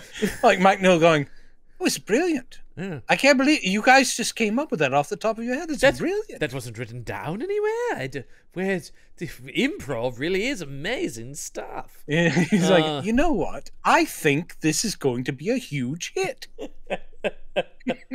Now let's talk about the scene. I think before they actually go to Egypt, Yes, sorry to to they uh, uh they go to the lab. He's like, "Let me show you the mummy that we have in the lab here." Mhm. And this is where she meets Paul, who's instantly like, "Hello," and Heston's Yes, like, "Ooh, this I is a uh, I don't know that I like character this. that we saw in Blood from the Mummy's Yeah. Tomb. And and he's like, "Oh, I don't care for the way he's looking at her." There is one thing that this movie did, and I'm sure they were like patting themselves on the back. They're like, we have the guts in 1980 to address this. There was a hint of it in the Hammer film, oh yes, but then this one they're like going, we're going full bore on the incest train. Mhm. Woo! Because we have Charlton Heston tell the story of Princess Kara, Mhm. and part of it is she married her father, the Pharaoh, yeah. because that incest was Oh fine God. back then. And the way he says it is almost like, "And don't you wish it still was?" Well, I mean, and as he's saying that, she's looking at him like, "Yeah, this is a, that's a good idea." You telling And me? she reaches out and strokes his Yeah. cheek, and you're like, Yeah. "Okay, we get it." You're telling me I'm gonna be in this thing and not get a piece of Stephanie Zimbalist? Come on. You know, I worked with your father, Ephraim, once. yes, it Um, was with that bitch Sophia Loren. No, uh, it, it wasn't. But I just love the idea that he was like worst actress I ever worked with, Sophia Loren. Come on. I love the idea of him just holding on to grudges and, and just sitting there going, one of these days I, I'm going to rent a plane and put Warren Beatty and Barbra Yeah. Streisand and Sophia Loren on it, and I'm sending it straight to the Bermuda Triangle. bye bye, folks. Oh, he doesn't seem to care for George Clooney either. Um, I will be putting him on the same plane. uh, he says, uh, "I don't know the man, never met him, never even spoke to him, but I feel sorry for George Clooney. I served my country in World War II. I survived that. I guess I can survive some bad words from this fellow." Wow. Because I'm sure Clo- I don't know what it was, but I'm sure Clooney was like something about guns, obviously. Yeah. Uh, uh, because he was a crazy. Yeah. For those who, of course, people know Heston. Pretty much the whole later chunk of his career was he was just professional gun nut Charlton Heston. And and very much the public face of the NRA, including Oh, yeah. I think wasn't either chairman for oh, several yeah. years, like Oh, yeah. decade or more. Yeah, yeah. When he would lift the rifle up and go from Yeah. my cold dead hands. And Yes. you know what I love? You can have my gun when you pry it from my cold dead hands. What I love is immediately upon his death, a bunch of liberals went and pried his gun out of his cold dead hands. it was it was great. That's what he said. We waited, we waited, then we went and got the gun. we actually waited for it to drop below a certain temperature. Yep. Once those hands had gone below a certain temperature, We said- like, now we can have that We gun. said Doc now, and he says, Nah, they're still kind of warm. So hold on. He's like, ah. we respected his wishes, is what I thought. Um, you know what? I bet. I mean, I'm willing to bet uh, that he was buried with a gun. oh, I'm willing to- to, bet there was one or maybe be. more in his coffin. had to be. He also sent a message to the U.S. troops when they when we invaded Iraq, saying, "Go get 'em, boys." Is the gist of it. God, the guy Go was just- get those WMDs. They're the there. to- the totally real. I know. And if there's one thing I know, it's WMDs. um, I also think it's interesting for a man who. The William Morris Agency. Oh wait, no, that's WMA. I also think it's uh uh Jesus Christ, he's got so much stuff about Clooney actually, but I also think it's sad that that guy who really didn't like him. who marched with Martin Luther King. Uh, I know. Later said affirmative action is a stain on the American soul. Uh I mean, people change their minds, but it's also possible that was something that he that period I, I just think he probably jumped on the, you know, it's like the bandwagon. Like, yeah, civil rights. That sounds good. Mm-hmm. Then And later on, but like- affirmative action can suck my D. Oh, you talking about giving people jobs? I, I can't get on board with this. You mean correcting the imbalances that are baked into American society?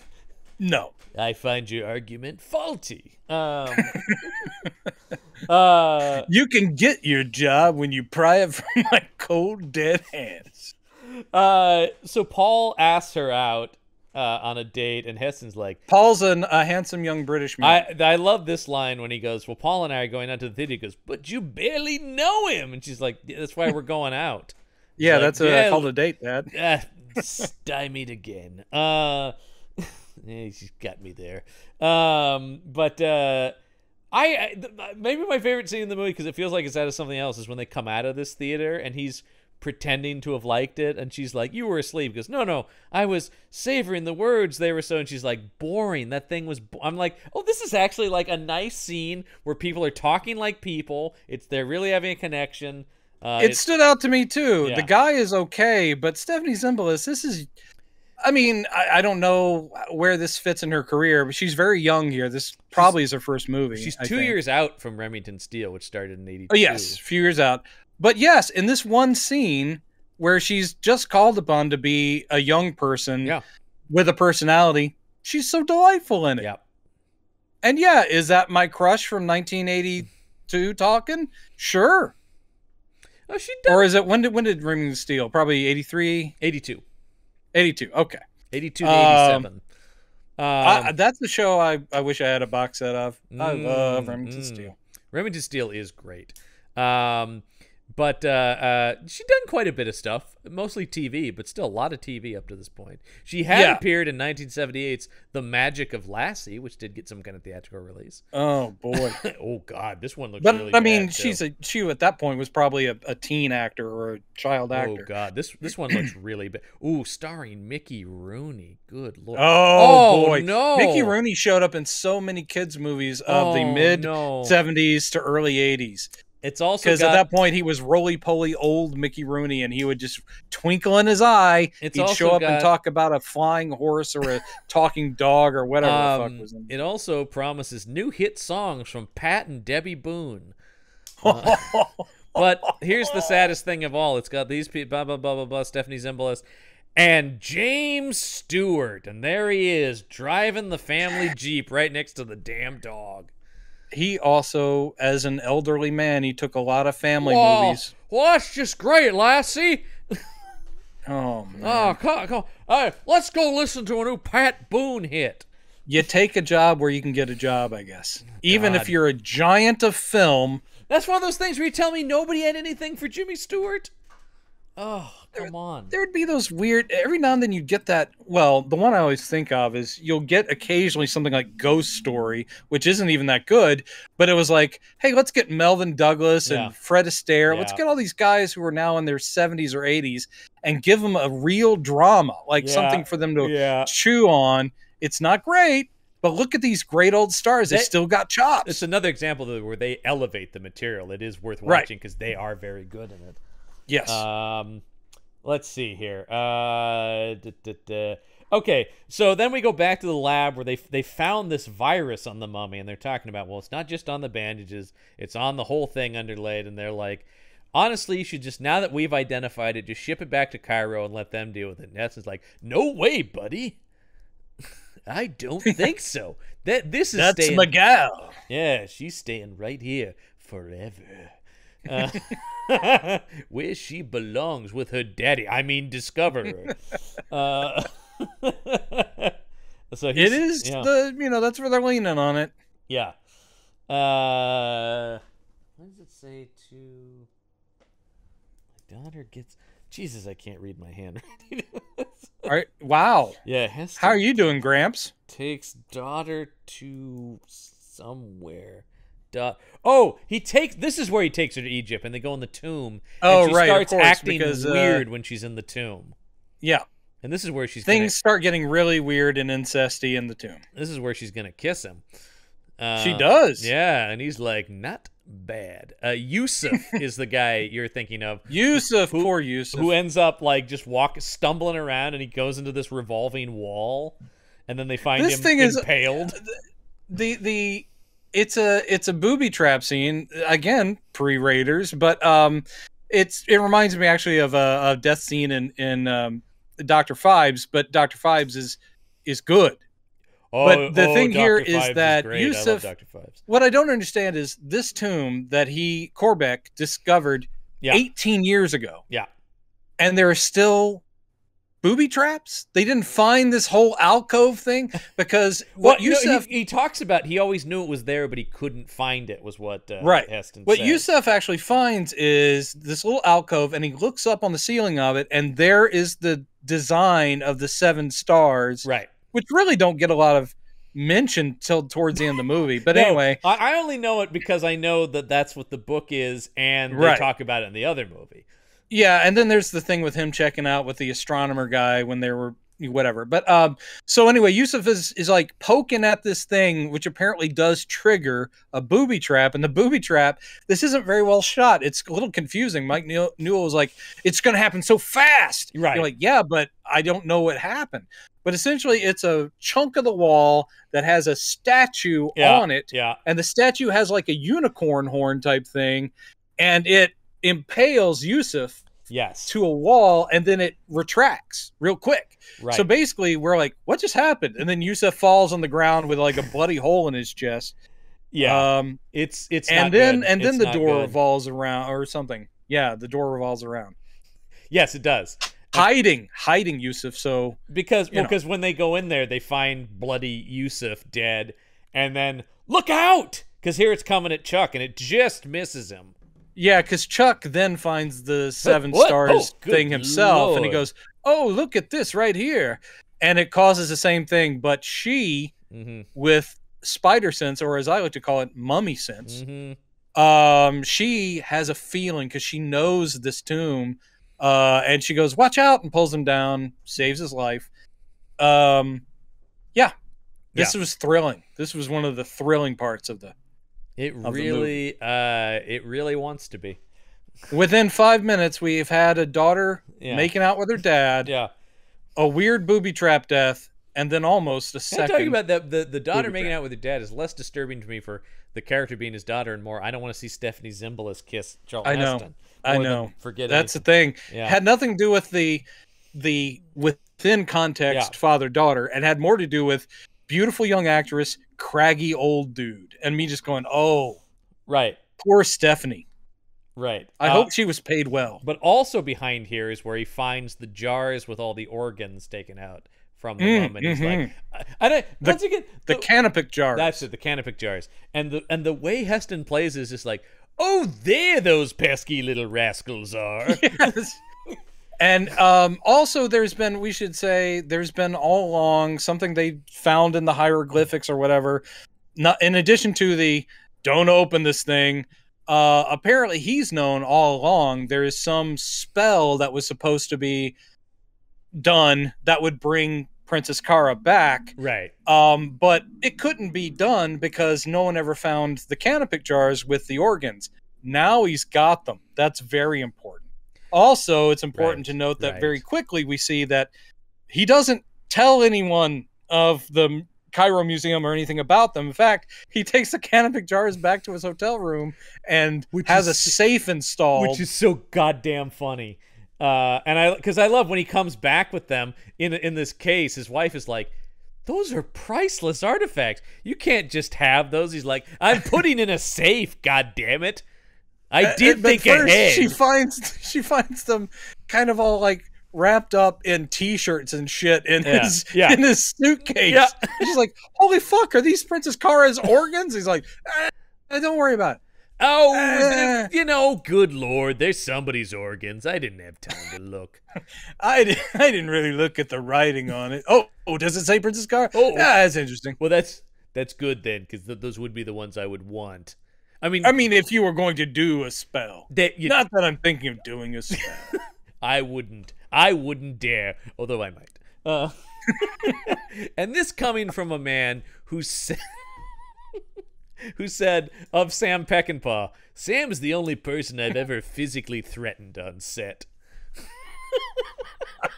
Wouldn't you have loved to have been there when they were shooting Major Yeah, Dundee actually. and Yes. just see see those two guys, those two alpha dogs barking at each other? Oh Because man. Sam Peckinpah, noted psychopath, like mm-hmm. total nut job. And to just. I think that was totally a bring it on. yeah. No, you bring it on. I'm gonna kick your fucking ass, Peckinpah. Like that's what it. Oh, seemed- this is happening. yeah, This is happening. yeah. And then you got, co- I mean, a guy who did wear a firearm when he directed movies, Peckinpah. Yes, he did. And he was a coked up, you know, booze hound, yep. unpredict genius, genius filmmaker, but a total psycho. Uh, yeah, I, I would have even if he had cast me, I think I would have turned it down because that's an extra level of pressure in in, in filmmaking. I would not Yeah. be down for. I'll go ahead and just ignore the 45 under like- my arm. I know the film is going to be great. Yeah. You're an amazing director. Yeah. I cannot concentrate knowing that you're sitting there with a loaded weapon. and he's doing whiskey shots and lines Yes. of coke. Yeah. All right, let's go ahead and do action. Yeah. Uh, Boy, yeah. Uh, yeah. So she's concerned. Uh, he locks the safe and then he puts the key on this little bracelet he's got, which is my favorite thing. he's like, "Yep, there we go, perfectly safe." And that that moment when he puts it on the thing that's on his wrist, that's when his wife is really like, um. yeah. Well, she's getting the same feeling that uh, ex-wife did. Yeah. Um, I'm not a part of this, and he's going around the bend, And and, then- he's going to do it regardless of whether I have anything to say here, the next scene, he's outside staring up at the stars, going, "Eh, "Little kids believe in magic, but for some Oh, reason, as adu- as adults, we've given up. But maybe magic is real." And you're like, my note just says, "Heston talking crazy about magic." this is clearly i mean every now and then the screenwriter's like don't you get it i've elevated the horror film hmm here's this meaningful monologue about uh because i think you also hear either susannah york or or margaret say um i mean yeah these spells but you don't really believe in that. He's like going who's to say? Maybe we've just disconnected from magic. We just aren't acce-. he's like there might be power in it. I'm not saying one way or the other. But it's all like jibber jabber and you're like Yeah. great. I'm sure he read that on the page was like i am gonna knock this out of the park By God, it's nearly Shakespearean, or even worthy of the U.S. Constitution. I have to say that Thomas Jefferson couldn't have written this better. Like, I mean, it's just one of those things where I just feel like it would have been like, God damn it, Chuck, we get it. You like America, great. I Uh, don't think you understand. And then in his ramblings, he goes, Political correctness is tyranny with manners. no, I'm sorry. He said that in real life. Uh, Yeah, yeah, said, yeah. Political correctness is tyranny with manners. Ooh, that's a good line. Write that down. Yeah, I'm going to use that at the next NRA gathering. Um, That'll get an applause break. Trust me. Uh, Oh, yeah, I know. The guy was a nut. Um, if America had a vagina, you'd better believe I'd be hitting that. and actually, a couple of geologists I know have told me that America does have a vagina. now it's just a question of finding America's G spot. Uh, Though I don't personally believe that exists. yes, uh, we're still working it out. Science hasn't gotten. All I can say is my summer vacation is now set. If you need me, you'll find me in America's vagina. where I belong. Uh, John and I, back from vacation, here's your t shirt. My friend went to America's vagina, and all I got was this lousy t shirt. I found this to be a rather humorous and clever statement. Uh, Just like this one one margarita, two margarita, three margarita floor. Uh, you see, because it's implying that, that, that you've had so much to imbibe that you've now hit the floor. Oh, Charlton Heston with novelty t shirts is now a thing I want to see all the time. Yes. Oh my god. Uh, Woo! see, it looks, I'm with it- stupid. And you see the arrow is pointing to you. implying you are the stupid one. Now, see here, it looks like from a distance the logo of the Federal Bureau of Investigation. But you'll see very cleverly under the letters. It says female body inspector. Ooh, that'd be a job I'd like to have. It actually is a job I did have when Reagan was president. Then they took it away. God damn Clinton. well, he didn't like that guy either. There's a lot of Clinton's uh, Oh, of course. stuff on there. He talks about he fucking hated Clinton. Uh, but I do agree with Garfield here. I also hate Mondays. of course, I don't eat lasagna because it's not an American dish. No. Uh, oh my god. All right, moving on. There's a mummy. um, so he's also got this guy with a satellite tracking star movements or like Yeah, he goes to his astronomer friend because the seven stars thing. He's like, "Hey, could you go back through all your scientific star Yeah. movements and tell me when these particular this uh constellation Yeah. was in eclipse or when there were eclipses?" He goes, "Oh yeah, there's been uh approximately 36." It's like, "Yeah, it's like every 18 years or some kind of nonsense." He's like, Yeah. "Hmm." Oh, also the Good. astronomer's like going, "Look at this. It's a computer." Yeah. This is a Mm. 1980 computer. He goes, you know, if I were just doing this before the age of computers, it would have taken weeks. Now I just push some buttons. Man, I told my wife magic was real.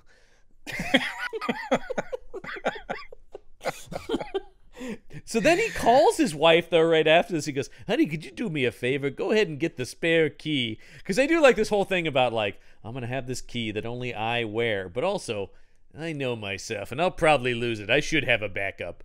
Uh, This could have been interesting little twist of the story because after he has this astronomer tell him that, it confirms his theory, which he doesn't say out loud till like the end of the movie, but he's going, "Oh my god, the prophecy is coming true. Uh, Princess Kara might rise and take over my daughter." So he's like, "It's all true." So this is his moment of like, "Damn it!"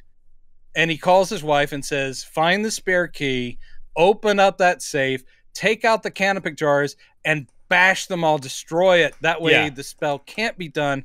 And uh, so it's a moment of him going, uh, and I kind of like it where he goes, "Do it now before I lose my will." He's like, you know, I Yeah. might fall back, so do it before I chicken out and and preserve them. And she's like, "I'm on it," which is basically he said. Would you now sacrifice your life for the movie? And she said, Yes.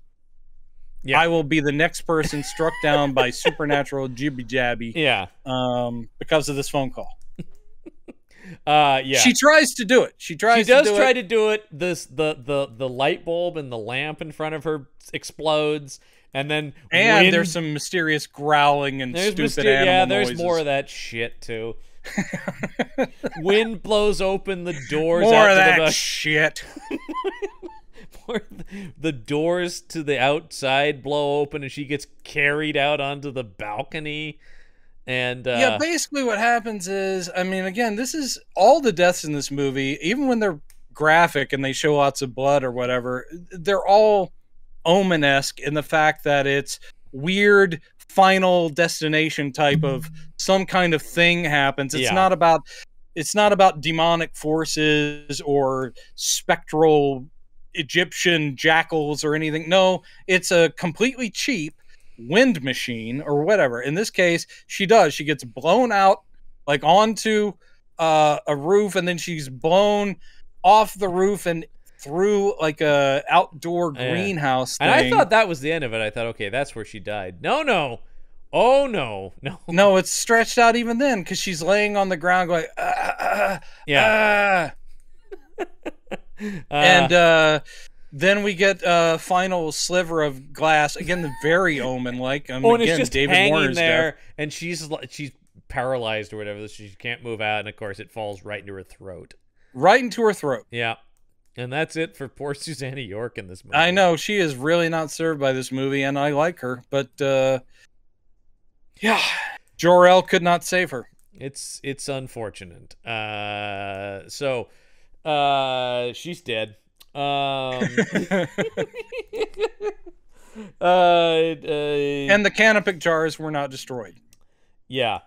Uh, think we talk about the next thing, which I have, which uh, there must have been something else that I didn't write down, but I think there's just a bunch of bullshit dialogue scenes or something that don't. Yeah. Because the next thing is her. The daughter wakes up in the night Mm-hmm. and she's like sweating and shaking and all of a sudden we see Charlton Heston pulled out of his bed and scooted across the floor. Oh, this looks silly. This looks very silly. He's, I his body. I think he sliding should have across the called floor. in sick that day. Yeah. What's that? You want to hook me up to a pulley system and yank me across the floor? Sure. I'm not even sure if this effect were done well, it would not um, be funny. I have a feeling that anytime you see someone, I mean, in Ghostbusters, it almost works when you know her chair, she's in the chair and it gets pulled into the refrigerator. Yeah. It's funny and it's also creepy. Yeah. But just the effect of someone going, "Uh oh, I have no control and I'm being pulled," it's so stupid. It's so funny. Mike Newell, I'm calling you up. I just saw this picture Ghostbusters, and this looks a lot better than what we did. You promised me. You said I remember. You said this will look awesome. Yeah. I'm sorry. I don't know what your definition of awesome is. I love the idea also of Charlton Heston at Ghostbusters. well, this Well- is a, this is a very comical scenario.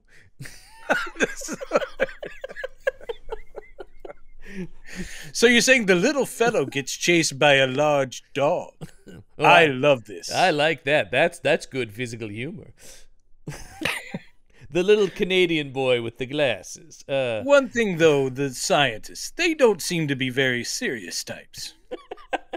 there's not one scene of them reading Shakespeare or the Constitution. How are they supposed to save the day if they don't quote Shakespeare or the Constitution? And I don't understand. There wasn't a single gun between them. Now you're saying in the second film, the Statue of Liberty will walk? Well, that I cannot stand. Oh, I would think he'd be into it because he's like, I'm "Maybe I okay got-" with it being buried. Yes. But if it starts to walk down New York streets, the greatest nightmare a man can perceive, the Statue of Liberty buried in sand. How could you it did it, Venkman. You finally did it. Damn you! It is one of cinema's great moments from Mr. Heston. It really Uh, is. Um, Uh. and I, I mean, we're making so much fun of them, and he is a terrible human being. Yep. R.I.P. Yeah. But he gave us some great performances in fun movies and Planet of the Apes. God damn, I love that 1st Mhm. Planet of the Apes movie. It's an amazing movie. Uh so here how about this cameo that you weren't expecting? She goes to see a therapist and it's none other than the Emperor. yeah, yeah, it's pretty great. Yes. Uh, I thought it was amazing that I mean, because again, this is years out from him taking on that iconic Three, role. three years out, 83. of Ian McDiarmid, uh, but he does at one point say, "I will follow your progress with great interest." yeah. So weird that that came up in this. And he kept going, good, good. it's also great that uh, for a 1980 movie, we have a scene of a psychiatrist who's just a hologram. So again, very interesting. And it's so weird that at the end of the scene he goes, "Tell Lord Vader to meet me in my chambers."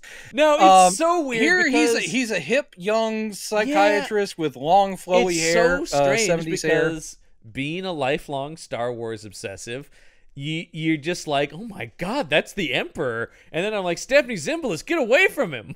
I mean, it it, it, it goes to how iconic he was in that role. That every time I see him, I'm like, "Oh, he's about to do something nefarious." Yes. Uh, another problem this movie has, by the way, and it has so very many. Add it to But- the list. you know the the deaths it has some of them can be kind of jarring or or at least interesting even though they feel like omen ripoffs but yeah. why they don't have any impact they're all happening to characters that literally showed up three minutes before two true. minutes before It's true. Gee, couldn't they have waited till like the second or third appointment with this therapist to kill? Yes. No. maybe this therapist had been her therapist as a teenager maybe Yeah. maybe we've seen him in earlier scenes Hello again. so now that he gets it you go oh that's terrible but we meet him and he dies Yeah. Yusuf, we met him and he died.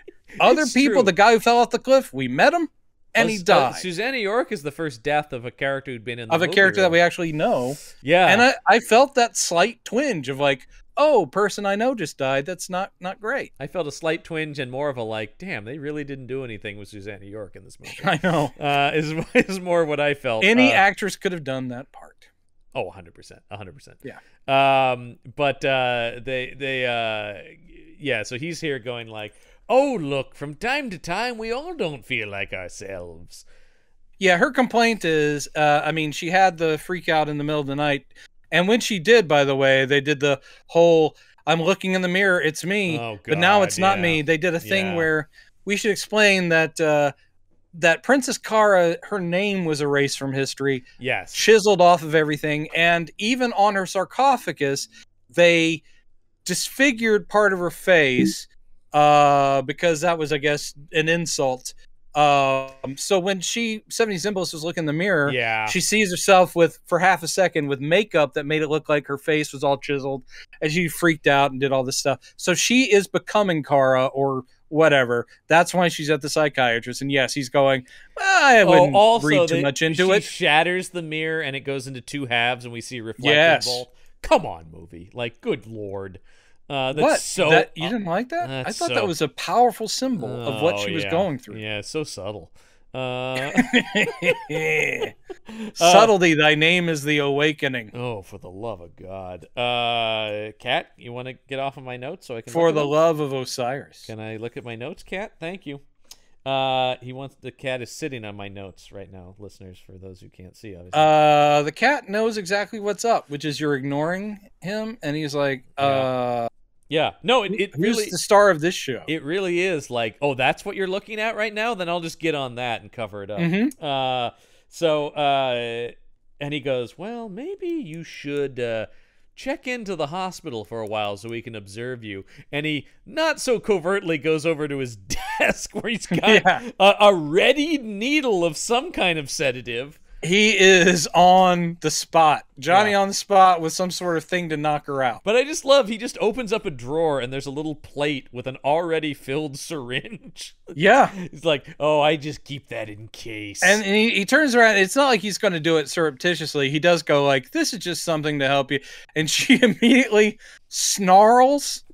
I I felt bad for her. I Every felt time I felt bad for Stephanie Zimbel. She has to do some embarrassing Yes, stuff when she movie. when she's doing like uh, I'm becoming possessed. It's not like suddenly I have evil eyes, though she does that a few times. It's Right. literally like she's a cat woman. She just goes "Ah!" yeah, and rushes him and sadly, and forces him down on the Yeah. desk, which forces the syringe into his own body, and then she oh yeah, she pounds him against the desk like several times. and he's like, "Ugh, ugh. I mean, Ian McDiarmid really goes out of this picture, man.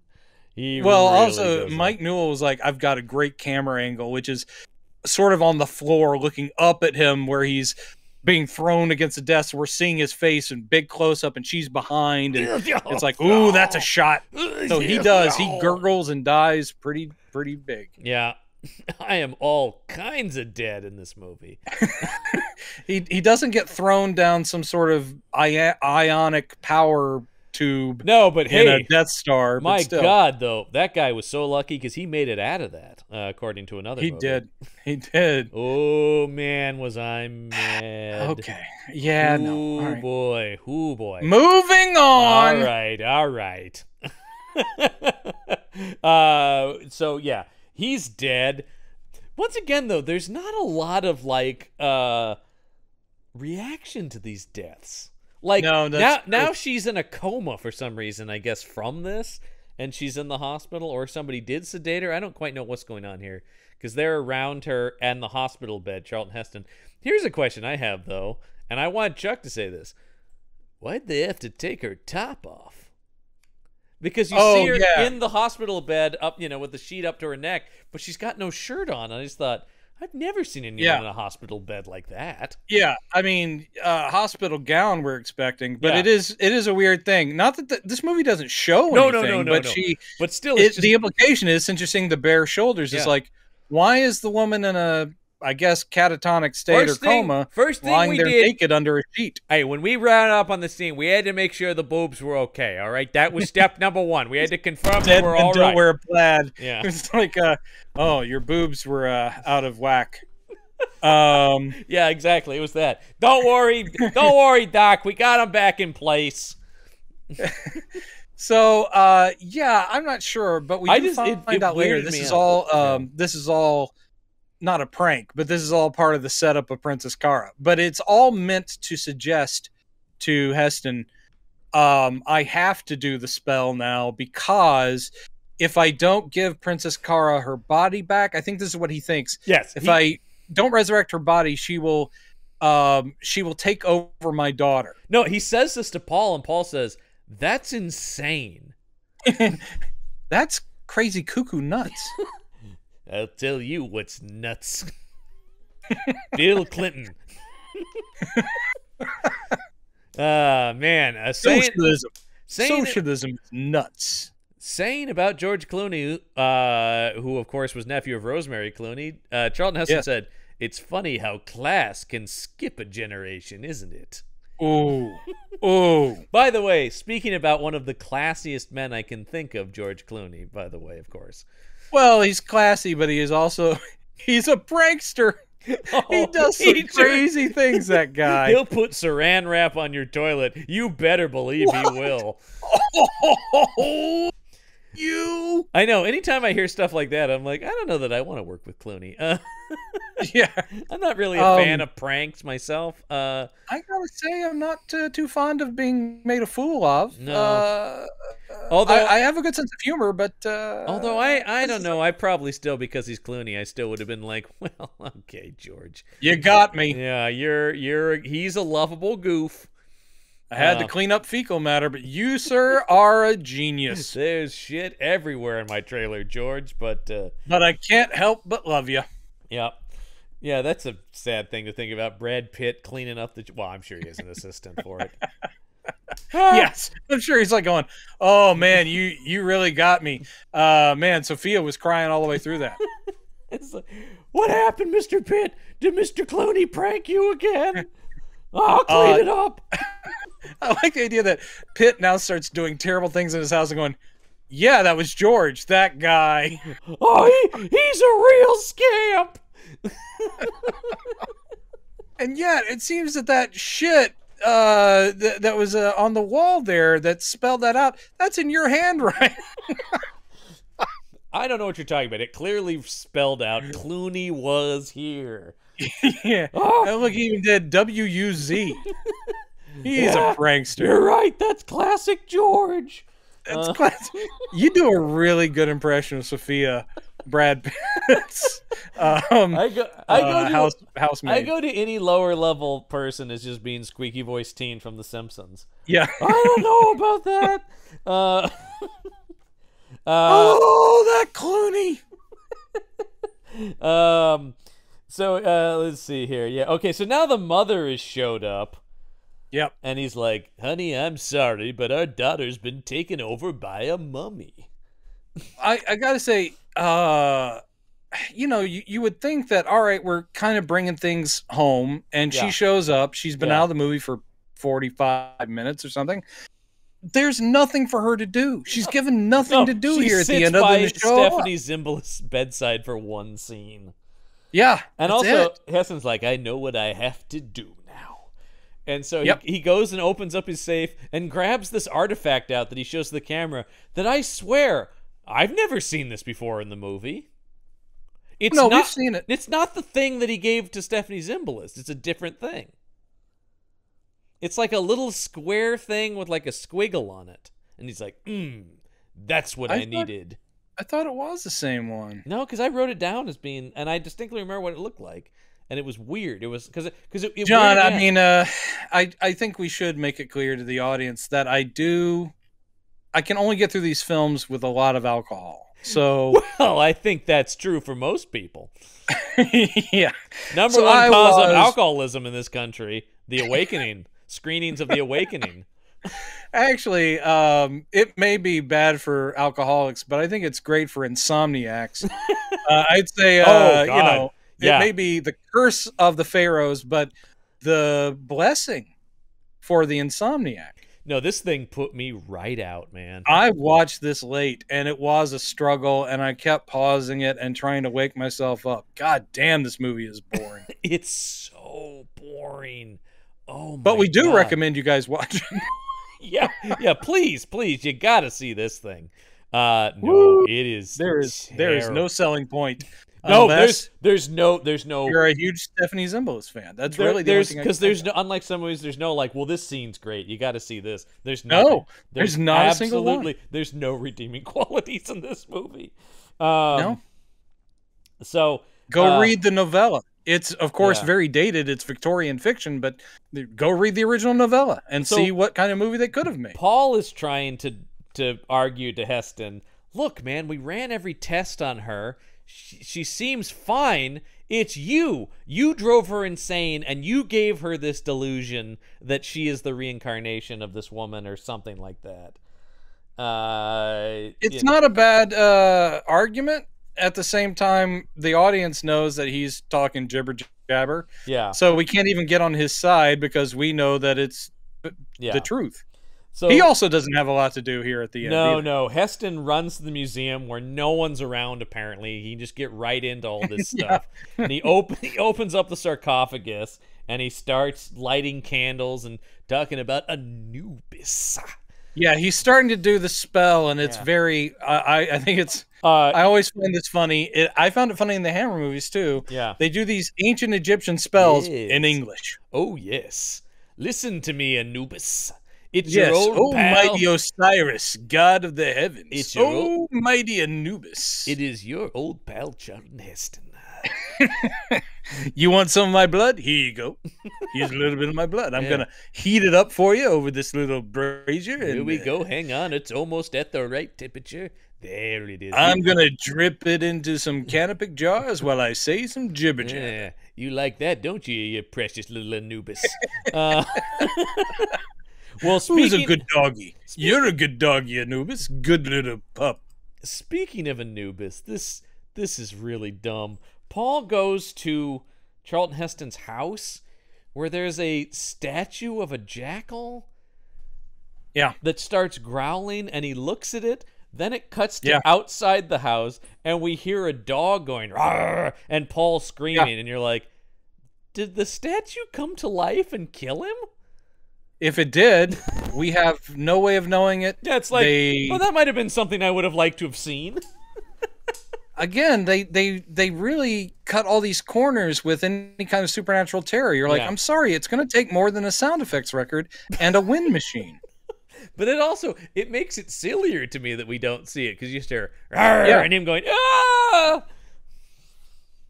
You know, uh, Mike Newell would say "I- i it's much more terrifying what the mind is creating. Yes, You see, the thing is, it's not about what I show you; it's about what's I, implied. I, I, I said when I when I came on to Harry Potter and the Goblet of Fire, I said maybe we don't show any of the magic. Maybe we just Yes. we just hear things.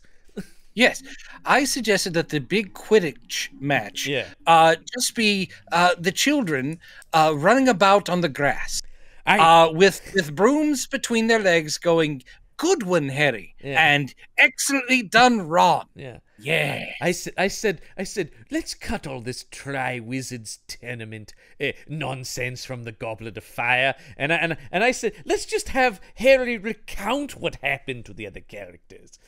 I, I I pushed and pushed. One of us kept pushing back. I said, "The dragon sequence is uh, it's going to be big," but I assumed and pitched for, "Can't they be pantomime dragons?"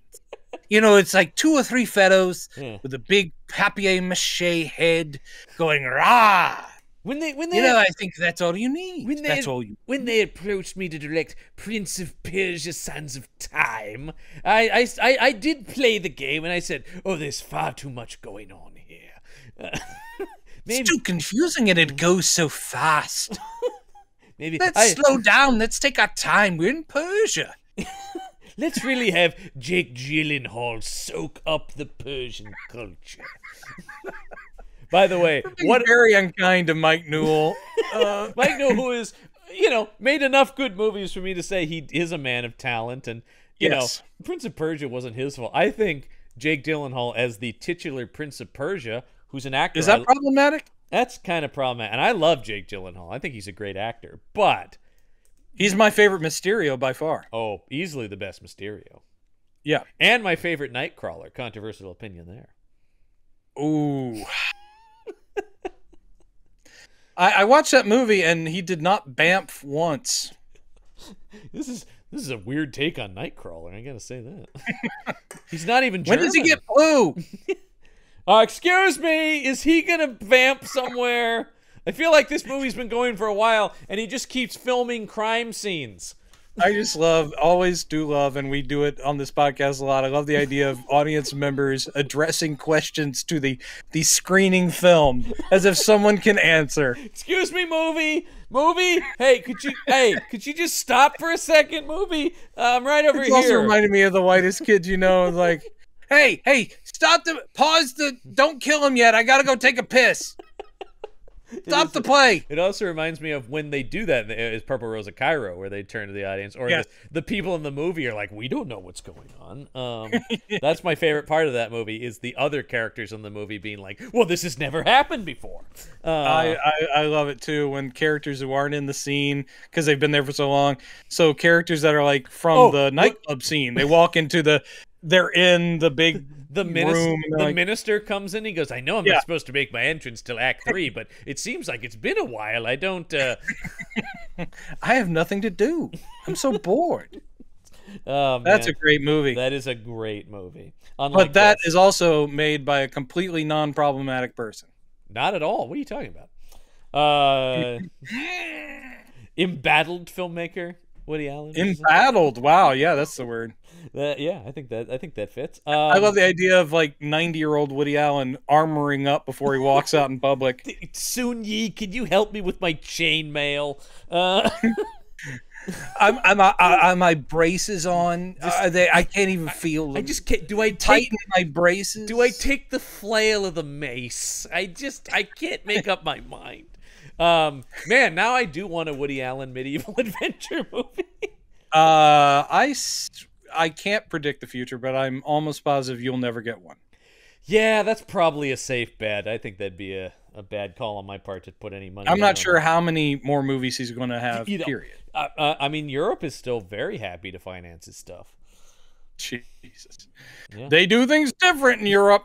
We uh, we see no problem at all with this man. I do not Hmm. understand. We are more sophisticated than you, and uh, these things do not bother us. uh, we've actually given him a national medal celebrating his behavior. Celebrating his behavior. not your films, just your behavior. We we Oh just love God. how this guy chooses to live his life. Uh, Oh, this- okay. this Before we get be the too least, problematic, the least we've ever talked about a movie on this show. uh, and you people understand our pain, or uh, maybe you can hear it, maybe you can't. this hope- movie, I hope you. there's I we really enjoy- could have come on and wrapped it up in ten minutes. I hope you enjoy our antics. Uh, yeah, it could have just been us saying Charlton Heston's daughter gets possessed by an Egyptian Yeah. princess. They kind of make out. Uh, he dies. The end. Well, oh, I just we're, right at the end because she's come to the museum now, and you can tell she's full mummy because she's got the eye the the eye makeup. That's my favorite. not yet. No, when she no. first shows up, No, no, Uh, it's- yeah, because this is and he's like, "Wait a minute, how did you get out of the coma? Why are you here now?" And she's like. Mm, she's giving him like I know all the stuff that you don't, and I'm Yeah. gonna force you to finish the spell. And he's like, "Damn it, this is just what you wanted. I've been fooled." I mean, it's Charlton Heston tough talking a decayed thousand year old skeleton, right? Yes, what's great is that he It's part all, of the all of his threats and stuff and anger are addressed at this corpse. the the spell that he's doing. He thinks is going to put Kara back in how the mummy. not? How does he not see how this monkey's paw is gonna go here, man? I know, Like, but then he on, starts Heston. figuring it out, and that's when he starts taking. He's like, "This was what you wanted," and then he's beating up a pretty well made. Like the effect is pretty good. The body. You son of a yeah, and, that, and that, that's where he's like, "You evil bitch. It's like, "Thi- let this blood open your eyes, and then the eyes disappear. He's like, let this open your mouth, and then the like jaw falls off. He's like, shit, this isn't. Hey, wait a minute. What is this? Some, and then when they cut back to what is that? Stephanie, some kind uh, of horrible has the- supernatural catch here? I don't understand. Yes, and now she Margaret has the stereotypical Egyptian eye makeup. Which I love that that just Um, appears. It just all of a sudden is there, and he's like, Yeah. "Oh my god!" Now the whole thing becomes clear. Yeah, it's like it wasn't about putting her back in her body. It was always about finalizing the soul taking over my daughter's body. Oh shit. Yeah, And then right around the time that he's beating the shit out of a mummy and realized his mistake, wouldn't you know a great big old statue falls on him? Oh my god, this statue falls on him, and then these cheap foam rubber pieces of brick and wall. It looks so bad. They're bouncing all over the place here. Yes. Oh dear God! And there had been a little mention of what happened to Princess Kara's Pharaoh father Yes, husband. He was also crushed by the brick. he was the, crushed by a big stone or whatever. Yeah, You're by like, the oh, I get it. that he was building his own tomb with. Oh, Right. And it all And, plays uh, out but again. he may almost be dead, but he's under these rocks, but he still has that knife he was cutting away at, at the mummy with. And he does say his number one catchphrase, which everyone already has this on a t shirt, but give it to us again, John. was that you evil bitch? That's it. You evil. You evil bitch. Yeah, And she just smiles evilly, and then he dies. Yeah. The end. I'd like to see Peck try and say that. no, and that's the end of the movie. Although, as we said, if you have the UK DVD release, it goes on and she walks outside and her shadow casts over London. Yeah. So I that's guess slightly reign better, of terror will begin. Here, it just hard cuts to credits. I couldn't believe Yeah, it. Yeah, it's just a, a- like mom's character. Mm-hmm. We don't know. Whatever. Boyfriend? Did he die? Did did the wind machine eat him? Uh, and growling all the while. We don't know. uh, so she just has the eye makeup on, looking kind of sexy evil, and then credits. Yep, credits, and you're like, oh, I guess that, I guess that was a movie. Oh, John, this wasn't good, man. No, no, it, it, uh, it wasn't. Uh, I uh, warned us. I mean, I did sort of remember Well, I mean, this we- from we- my we childhood as being incredibly boring. Yes. Yeah, so don't watch The Awakening. I'm much more Please excited much more excited about next week's movie, which I know to be a good movie. And What next is that? week we are headed into the first of many, many werewolf movies. Uh, and that is The Howling. The only good one out of this whole series, uh, out of that series, the very first one, Yep. Joe Dante's The Howling. I can't wait. Yep, The Howling, that that'll be good. I can and I that one I do own the Shout Factory Blu-ray of and have I'm it came out. jealous.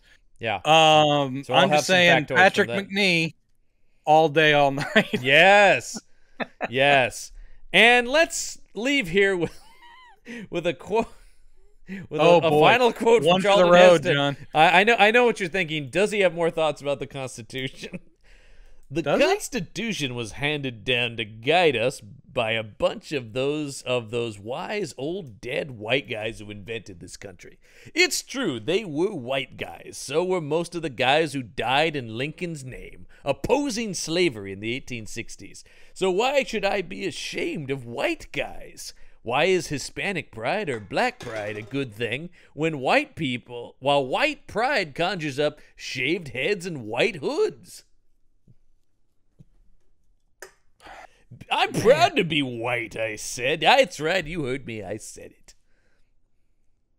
You know, taking pride in oneself, Yeah. I understand it completely. Taking pride in your family, Yep. I understand. Taking Taking pride in your nationality or something like that, or you're, you know, if you're proud to be of Irish descent. But white isn't a culture, man.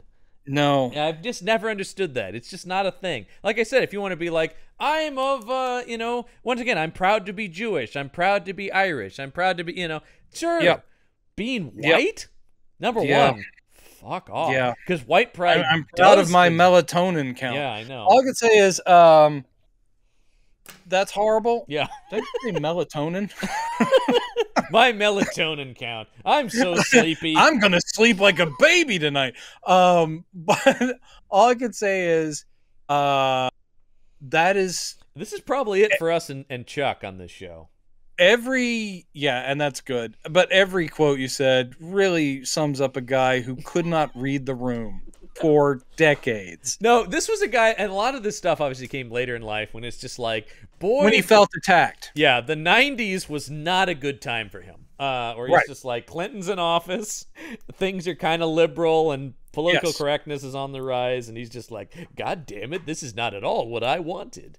he he started feeling that uh, that he and the type of person he represented was Yeah. no longer heroic. Right. and he couldn't deal with the he couldn't deal with with accepting that maybe he was proud of too many generalized bad ideas. Well, and he, he also, you look at his Eh. career, he never went the like Clint Eastwood route where he started deconstructing his own myth Right. or anything like that. He No. because he bought it 100%. he There bought no- it 100% and he no- bought it uh, from day 1 to the last day. Yeah. Even though I He was the guy that was going to save us from apes yeah. and vampires yep. and eating people. Yep. Uh, yeah. uh, he was going to uh, free his people, from Pharaoh. Let my people go.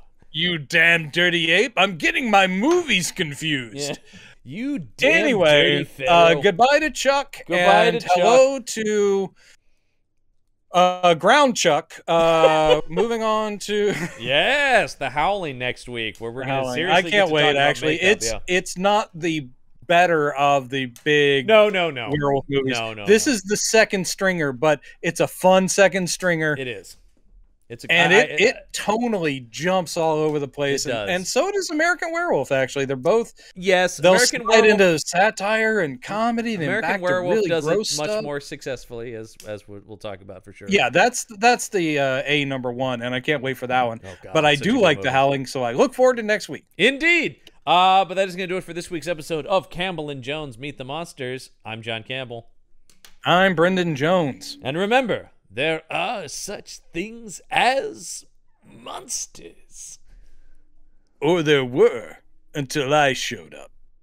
And Fuck you, monsters. On behalf of me and a bunch of old dead white guy.